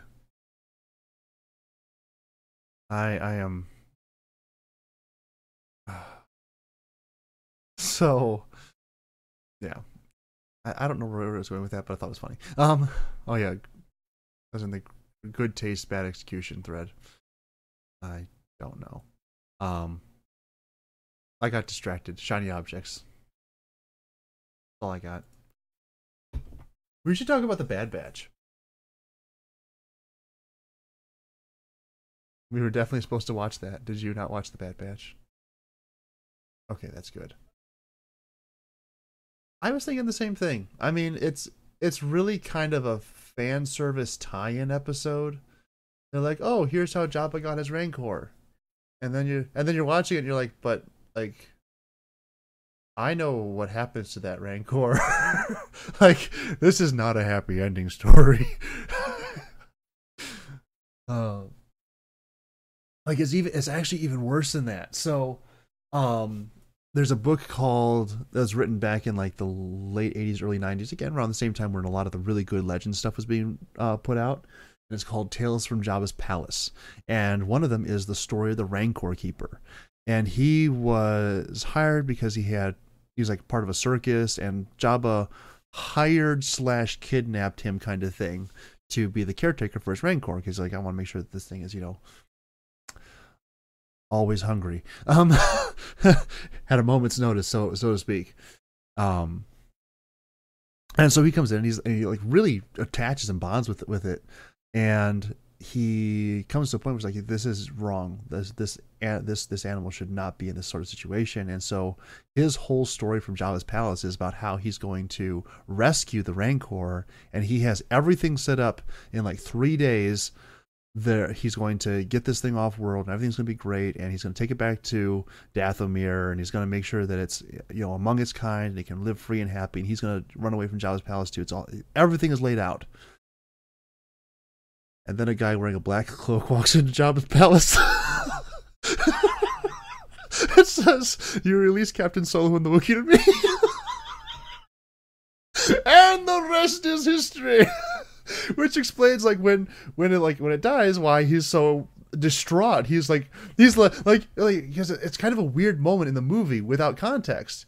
You're just watching it like okay wait what uh is he sad that he didn't kill Luke? What's going on here? Like because when I was like you know seven watching the movies for the first time, I'm like oh, it's kind of weird thing. I watched it over over, over and over again like I did. and I'm like, why why is this guy so sad about this? And then I read the book and I'm like, oh that's it's kind of messed up actually. and now and now it has a whole new wrinkle because it was delivered there by the good guys to eventually get killed by Luke Skywalker like, you know, just a couple days before it would have been set set free and sent back to Dathomir. Um yeah. Fun we d- we did get to see Omega. She now has her bow, although she hasn't quite figured out what to do with it yet. That'll be, I'm sure that'll be a great conversation to start off the next episode. so what's this piece of flotsam you picked up? It's an energy weapon. Everybody at the deck.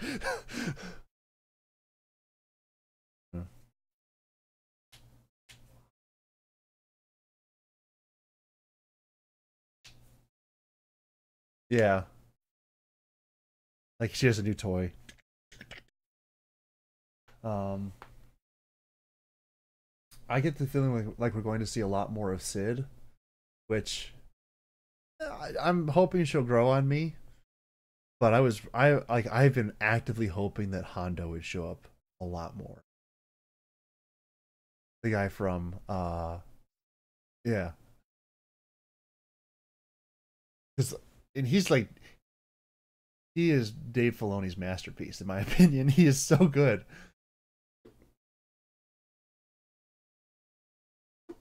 So he he's in Clone Wars, and the, he steps up. He he interacts with Obi Wan like three or four times. Yeah. 3 Mm-hmm. So he's and and like he's also very prominent in uh in Rebels. So it's not like he took a couple years off, or not like he took twenty years off to go from you know Caleb Dume to uh Kanan, like because he's pretty old by the time we get around to seeing him. And uh, well, I guess yeah, I guess it would have been about maybe 15, 16 years. So he'd been like 30s probably.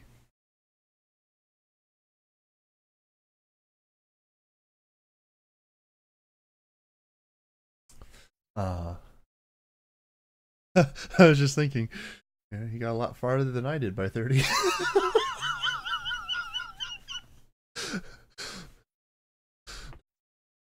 Little green haired munchkin running around.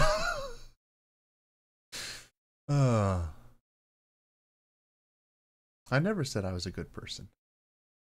I never said I had good ideas or made or made decent jokes.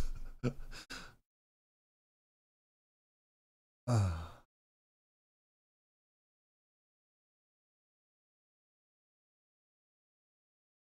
Launchpad?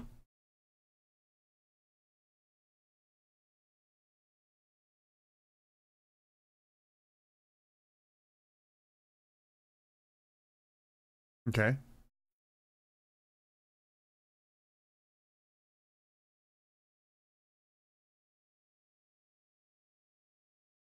Okay.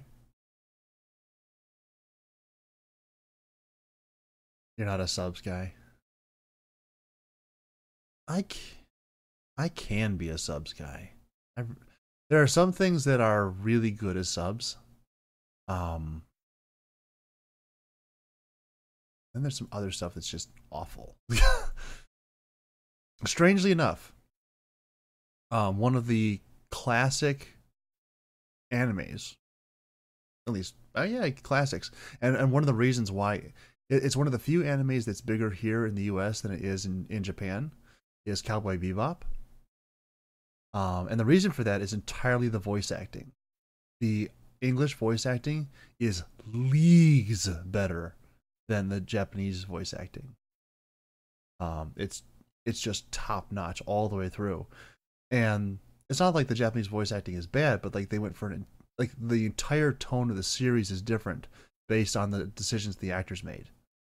Um, like like in Japan, in Japan, it's kind of like this, oh, kind of jokey kind of guy. And He's running around doing all kind of stuff, and then you in in, in America you have Steve Blum talking about the complexities of life and inevitabilities of death coming upon us, and we are all just travelers in the universe, trying to stretch out the distance between those two points as far as possible, and someday we shall all meet. It's like it's like totally different tone, same lines, but really, really, really different tone, uh, just based off the voice acting, and and the English one is so much better. Um, so yeah, tonality.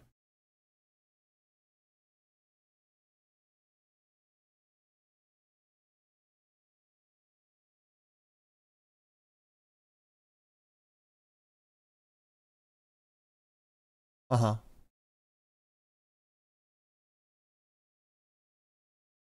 That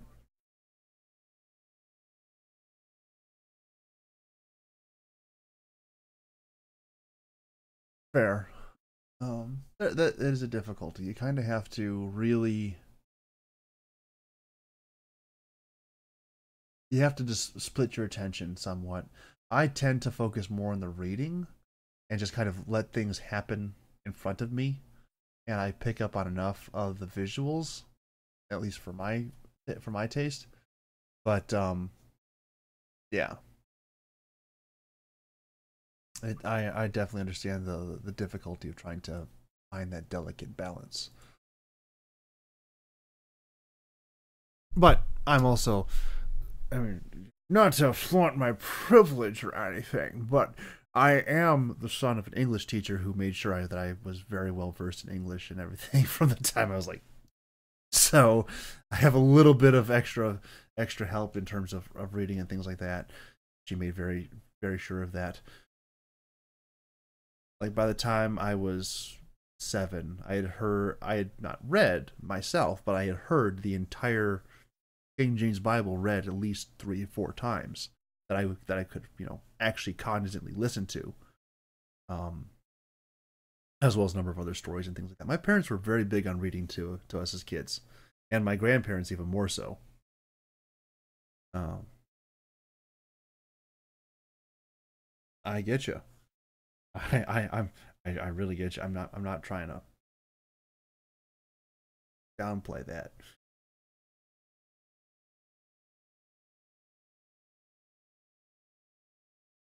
Hmm.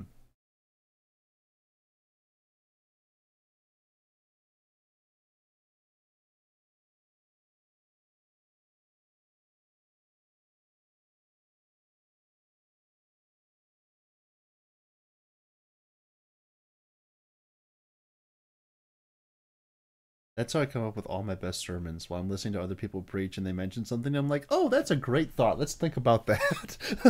I get this my pen and paper out and I'm writing things down. It looks like I'm very dutifully taking notes and I'm like, not there at all. uh. It's a wonder sometimes that my pastors, because I have multiple of them now, um, but so I had my pastor in Troy, which is where I used to go. And now I have my pastor in South Lyon. And I have his father in law, who's a retired pastor, but he's only kind of retired, and he still really likes the whole pastoring thing. So uh, these those two, the ones here in South Lyon, are the ones who are like, let's connect you with so and so. Like, okay redheads, man. the judgment and disappointment in Master's face right now is beautiful. uh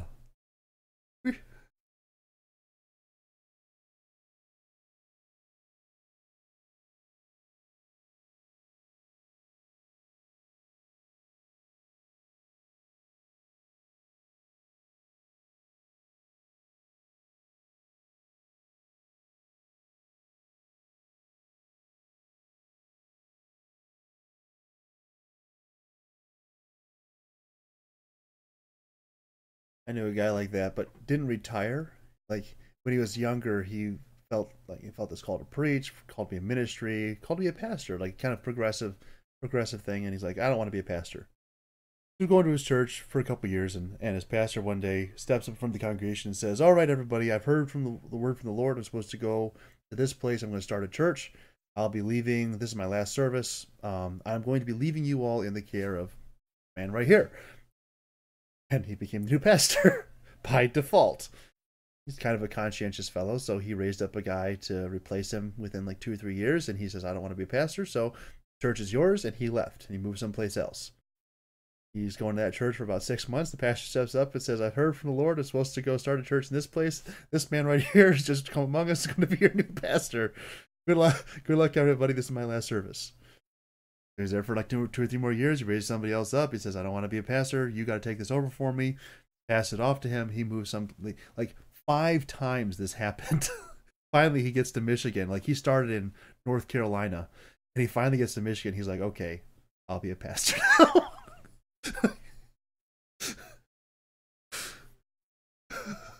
like, like this one's following you. You're not getting away from this one. You can do it like I tell you, or you can do it like I make you. You don't really have a choice in this one. oh man. People's is crazy, but they're fun. Most most of the time. oh, yesterday I was actually supposed to you know go and be pastor mentored by the by my pastor's father-in-law, and uh, I call him after work, and I've been up since like three o'clock in the morning because I work at four, and uh, like yeah, I, I can I can meet for something. He says, okay, well, why don't you just come right over here to my my son-in-law's house and we'll have a have a meal here. Okay. I got in so much trouble. Because I walk in the front door and uh, my my pastor, his house, so he's there, and um,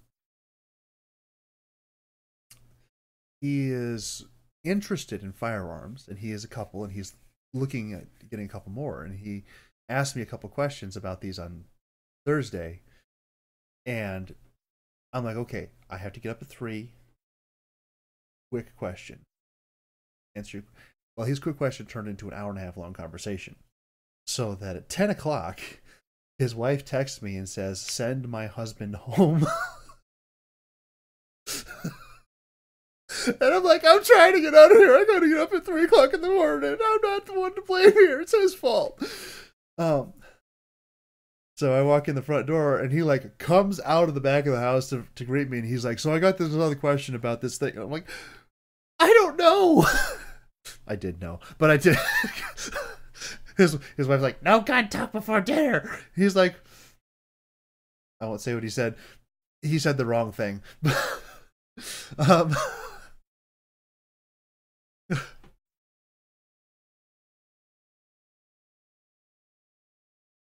No, that that's that like that's that's not even in the right context.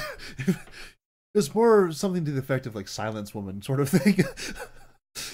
and it's like like that's not he was not sincere, he was not serious about it. He was making a joke, but it was still the wrong thing to say and you could you could just see that look come across her face where it's like she knew that it was a joke, but she was choosing not to take it that way and he was going to hear about it as soon as I was out of the house. Which is probably why they kept me there for like 5 hours. oh. We wanted to put that off as long as possible. But it's I mean but it's I mean, yeah. It's fun. They introduced me to a new program that I'm probably going to have to start watching. I, they've been after me to start to watch it for like the last year and a half, and I've been putting it off because I have so much time. I can't imagine why I wouldn't just sit down and watch lengthy program. Um, but it's actually really good. It's called The Chosen, and it's a biblical adaptation. And I'm gonna be honest, it's really good and and it and it solves one of the major issues that I've had with every other biblical adaptation, which is that the people who are portrayed are not real people. they're caricatures who are super stoic and super serious and never have any fun and never really pal around never, and like and are only ever focused on make sure that the kingdom of God is brought forth into this world and blah. And it's like I'm sure there was times where that was the case, but not all the time. Like you would go insane. Literally, you would go insane. And so they have this very diverse, both ethnically and also uh, presentationally and, and mentally and everything else, like just very diverse cast of people who are filling in the um the disciples, and the disciples are turning out to be very diverse people. Uh, like of particular interest, uh, Matthew is being portrayed as someone who may have like Asperger's or something, but in the time of Jesus, that no one really would have known that.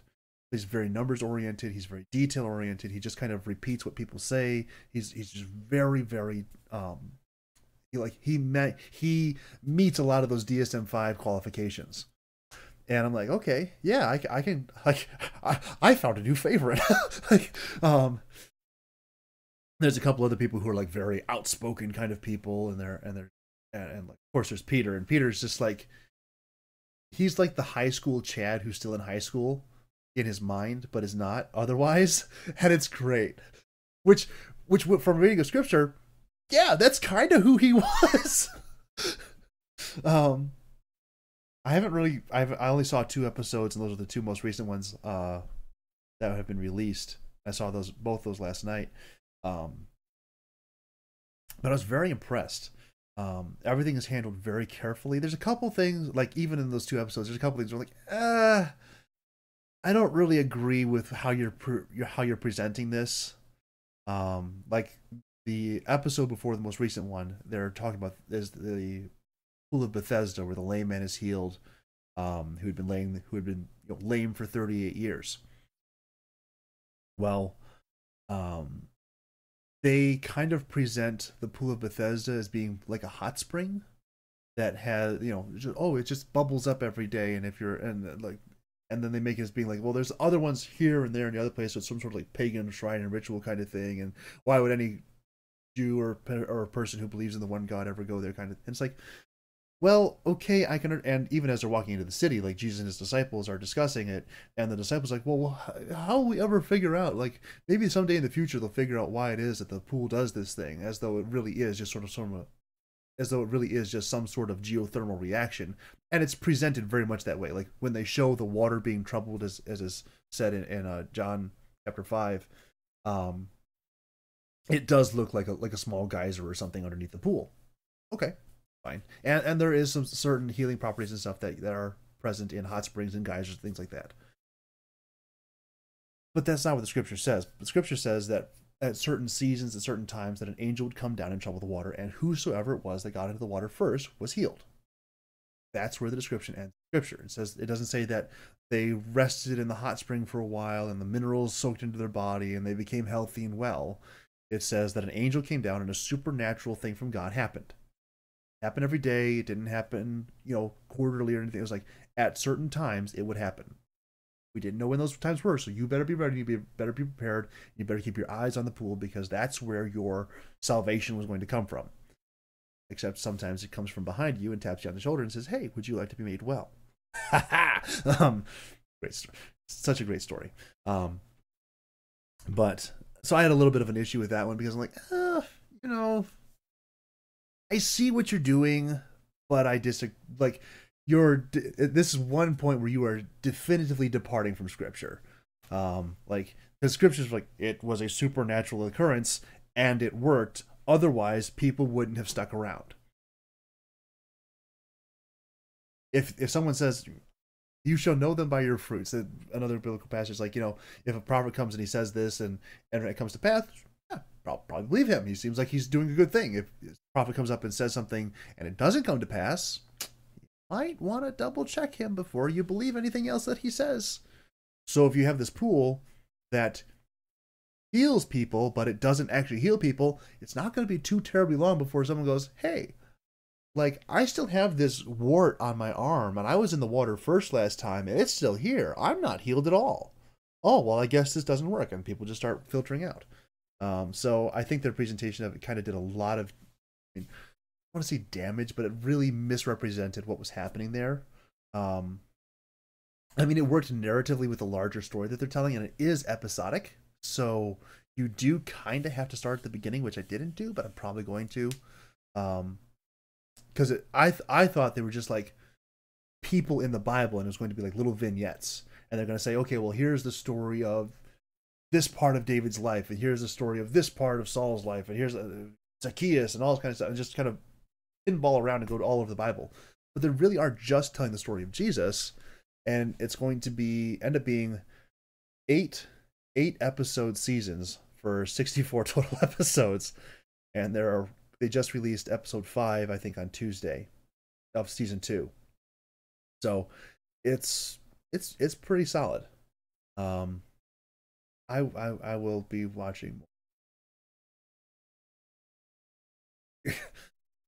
and mo and that's that's me being coming to terms with my own words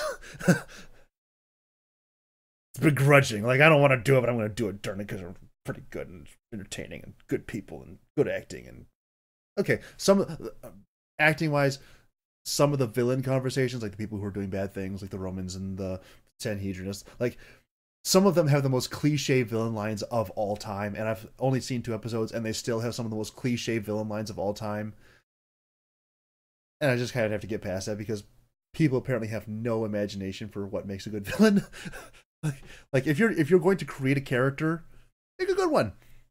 Give him a motivation beyond just I'm going to make sure that Jesus doesn't get to fulfill his ministry on earth. like, um, no, that doesn't work for. Me.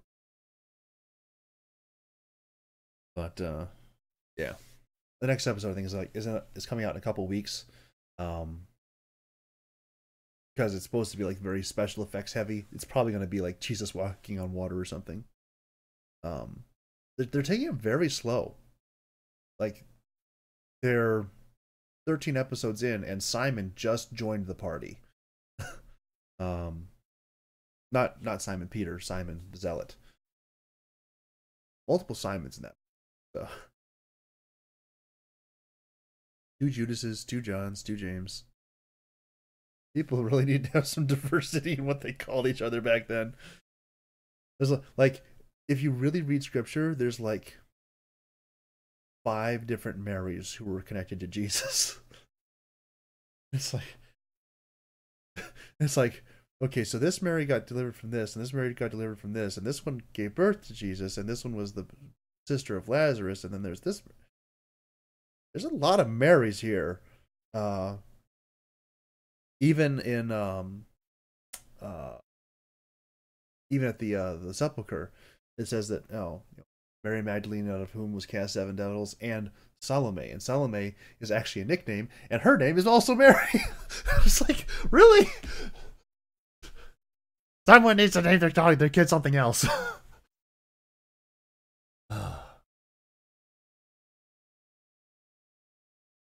apparently it wasn't a very big book. It was a little tiny book, and there's like six names in it.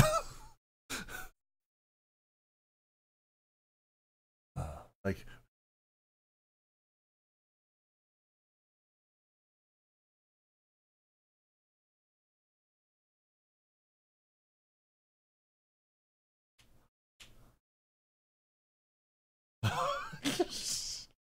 Uh, I was not quite, but kind of halfway my pastor's lesson on Thursday. He was pointing out some of the personalities of the disciples that kind of leaked into scripture. Like apparently there was a very intense rivalry between uh, Peter and John, like very intense rivalry. Um, and it's and it's it's blatantly on the page, just right in your face. Um, you know, in Matthew, Mark, and Luke, uh, in the Garden of Gethsemane, it says that one of the disciples cut off the ear of the high priest servant.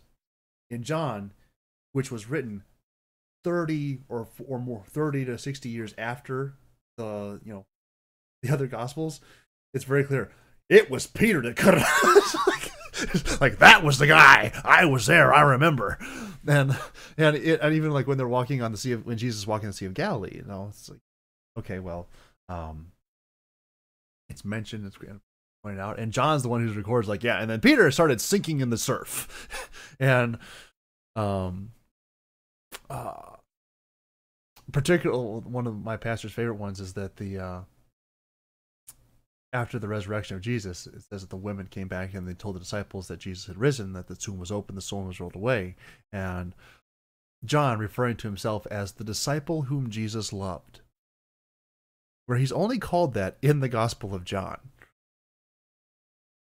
So, you know, kind of a little bit of still one-upmanship happening there, but and then and then uh, goes one step further and he's like, and that one outran Peter all the way and got there first, and then very respectfully waited outside, and then Peter runs up later and barges right in and starts ransacking the place. Where is Jesus? it's like a little bit read into the text there, but I mean, it, it would fit within his personality that's presented. You know, he's not particularly the most subtle of people. Um, Ye men of Galilee. Okay, well, you got my attention now. I don't know.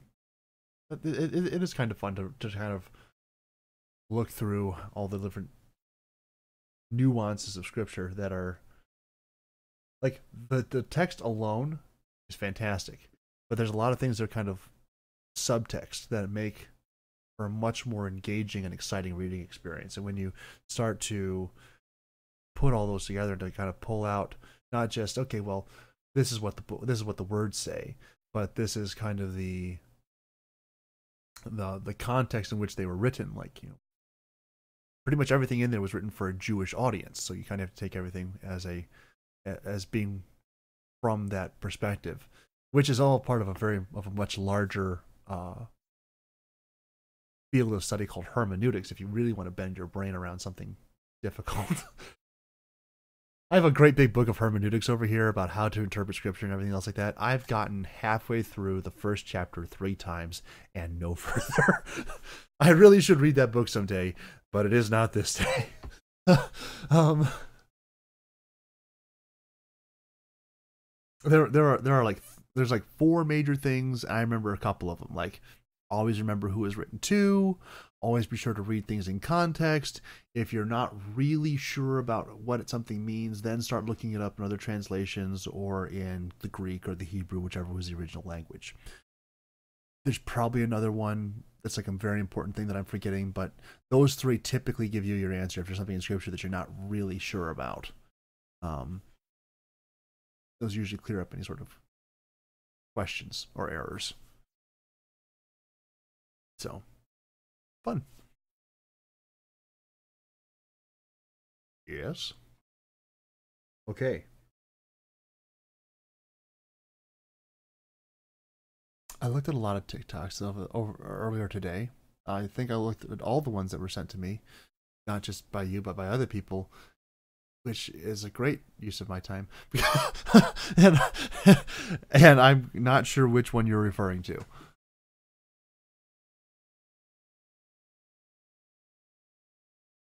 Hmm. Oh, not watch that. I watched the ones you sent earlier in the week.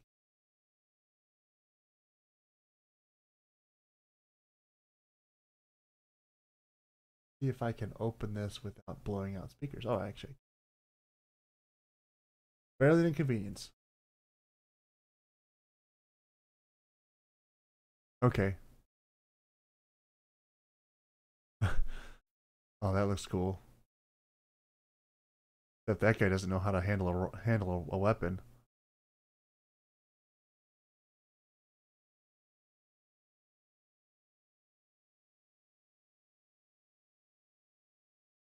Are they just like stalking off each other?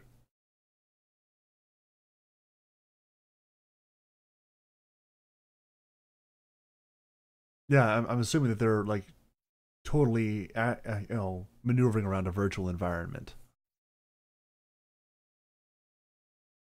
Yeah, that'd be super cool.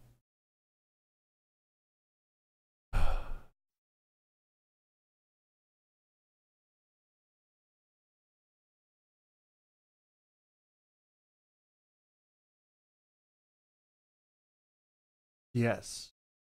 Mm-hmm. Uh, so there's actually a my 3D printer right now is down. I think we talked about that. Yeah, layer shifting, all that kind of stuff. Um, there's another 3D printer I'm looking at, which has not yet come to market, and it is a infinitely printing 3D printer. So right now, all 3D printers that are available on the market have a clearly defined workspace. They can only print within a certain geometry. Um, what they did with this new printer is they have turned it on a 45 degree angle so that it can print infinitely on the z axis. So you have your x and your y that go kind of back this, and then they can make it infinitely long. So there's a guy who got his hands on one of the early production models, and he printed out like a 12 foot long plastic girder because why not? He has six that.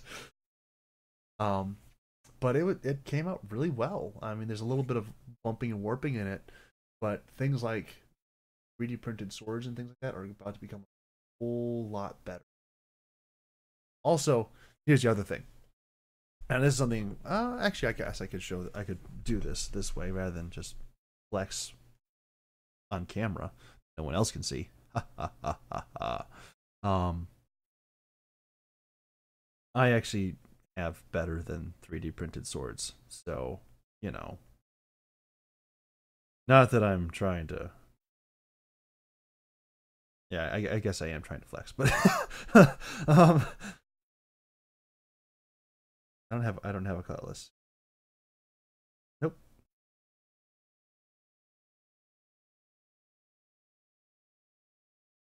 That's that's a rapier. I have a I have a rapier, I have a falchion, I have an arming sword, and then I have a small dagger. The rapier is purely a prop. The others, what? Uh, I have my trusty pocket knife that I use for everything that I definitely shouldn't use for everything. um.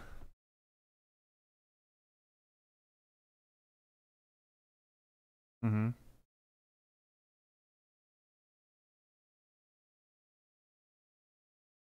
Yeah, because the because of the clay content.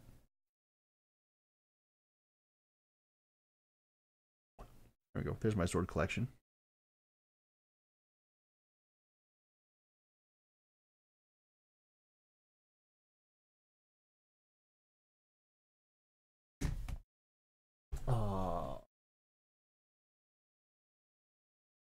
Difficult here, going back to things I don't remember. Uh, one from the 20th. Oh, uh, I've not been there, but I I've heard of it. I've been to what's called the Fridge, which is like that but better. Um, so the Fridge is only open from like November to March because it's an ice slide and they it's kind of like a pseudo toboggan run where they load up four people in a in this little sled and they send it down the ice chute. Um, we almost went off the end of their stop because we had back in the day. I was a little bit heavier than I am right now. I was like 260 something like that at the time. I had a friend, he was about 210, and then we had these two other guys who were bigger than both of us. One was a bit over 300 and the other one was like just just on the short side of 300 and we all loaded up you know in this cart and it's got like this nice big rubber stopper at the end that's supposed to like create a bunch of friction which it definitely did that day and it's supposed to stop you from just like running off into the woods with their toboggan um, and we came within like 13 inches of the end of it, and it was smoking when we got off. we had so like, and it's a, it's a legit, uh, lengthy piece of like hard cast rubber that is designed to to stop this toboggan, and we almost ran off the end of it. It was was it was good. We had almost I guess we did actually have like a thousand pounds a person on this cart, on this little toboggan. Oh, it was very fun.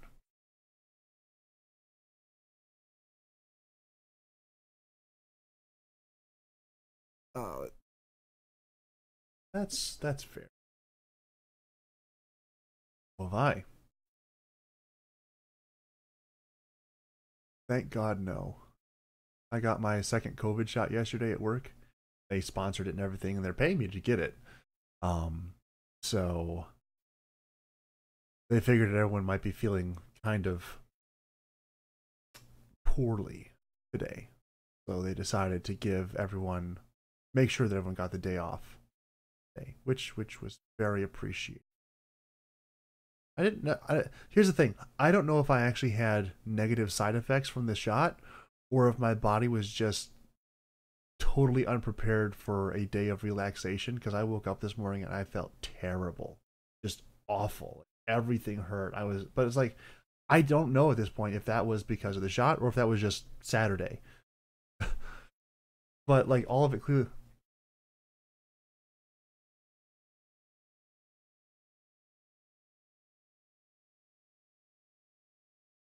Well, like everything cleared up by like noon. Yeah, not a big deal. Um, and then I kind of halfway still broke the CDC guidelines because you're supposed to wait two weeks before you take your mask off. And I said, eh, screw it. My my pass my thing my thing says I'm vaccinated. I'm gonna go with that. Um,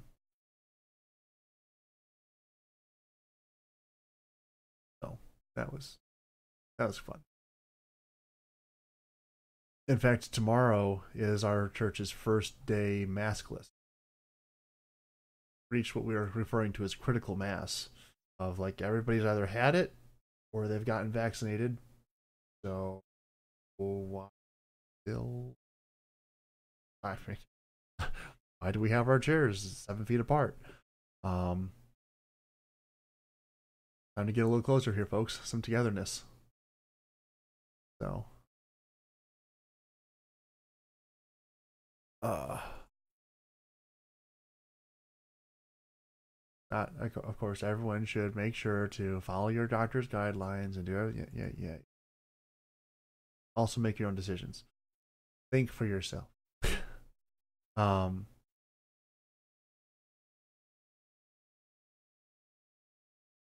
hmm.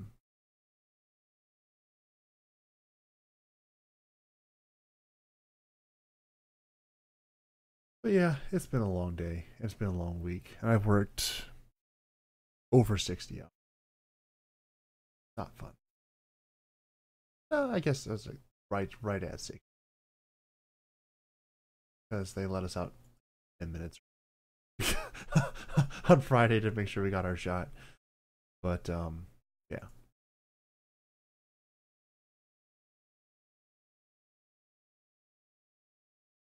Oh. Is that what we're calling it, Masters? No. Masters. Masters. Stop watching TikToks. I know. We are here. We are here. We are here. Yup. Um Yes.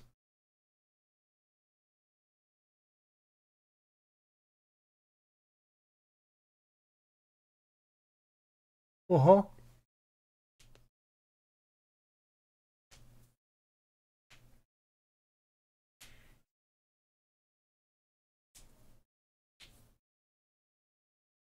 Right.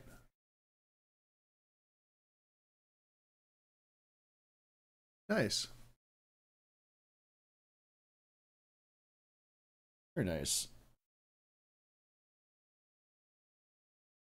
Oh.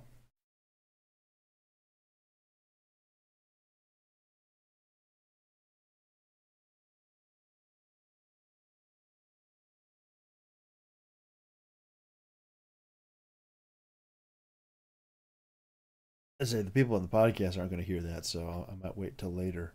But, um, yeah. Anything else you got for this uh wonderful evening slash podcast, Mister Masters? Alrighty. Well then, call it there, and uh, you get some sleep, and I'll get some sleep, and just sleep in general. Sleep sounds good. I like sleep. Yep. Um. Alrighty. Well then, thank you everyone for watching, listening in, tuning in, whatever your per uh, preference is. Uh, please feel free to leave a like down below, leave a comment, subscribe, share this with your friends. That is, of course, how we grow. Uh, making sure that all the world is filled with understanding that whatever podcast is that they like, there is a worse one out there. It's us. Um, yes. Let everyone feel better about their preferred entertainment. That at least there is something of lower quality what they're listening to.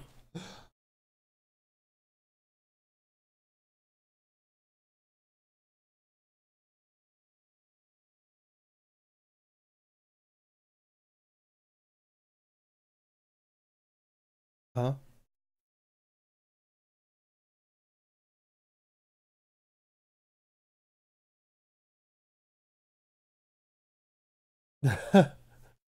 Should have tweeted it at him, and been like, "Bill, I have the I have the streak breaker right here for you." like you could even send him one of the good ones and be like, "Yeah, this is the streak breaker for you."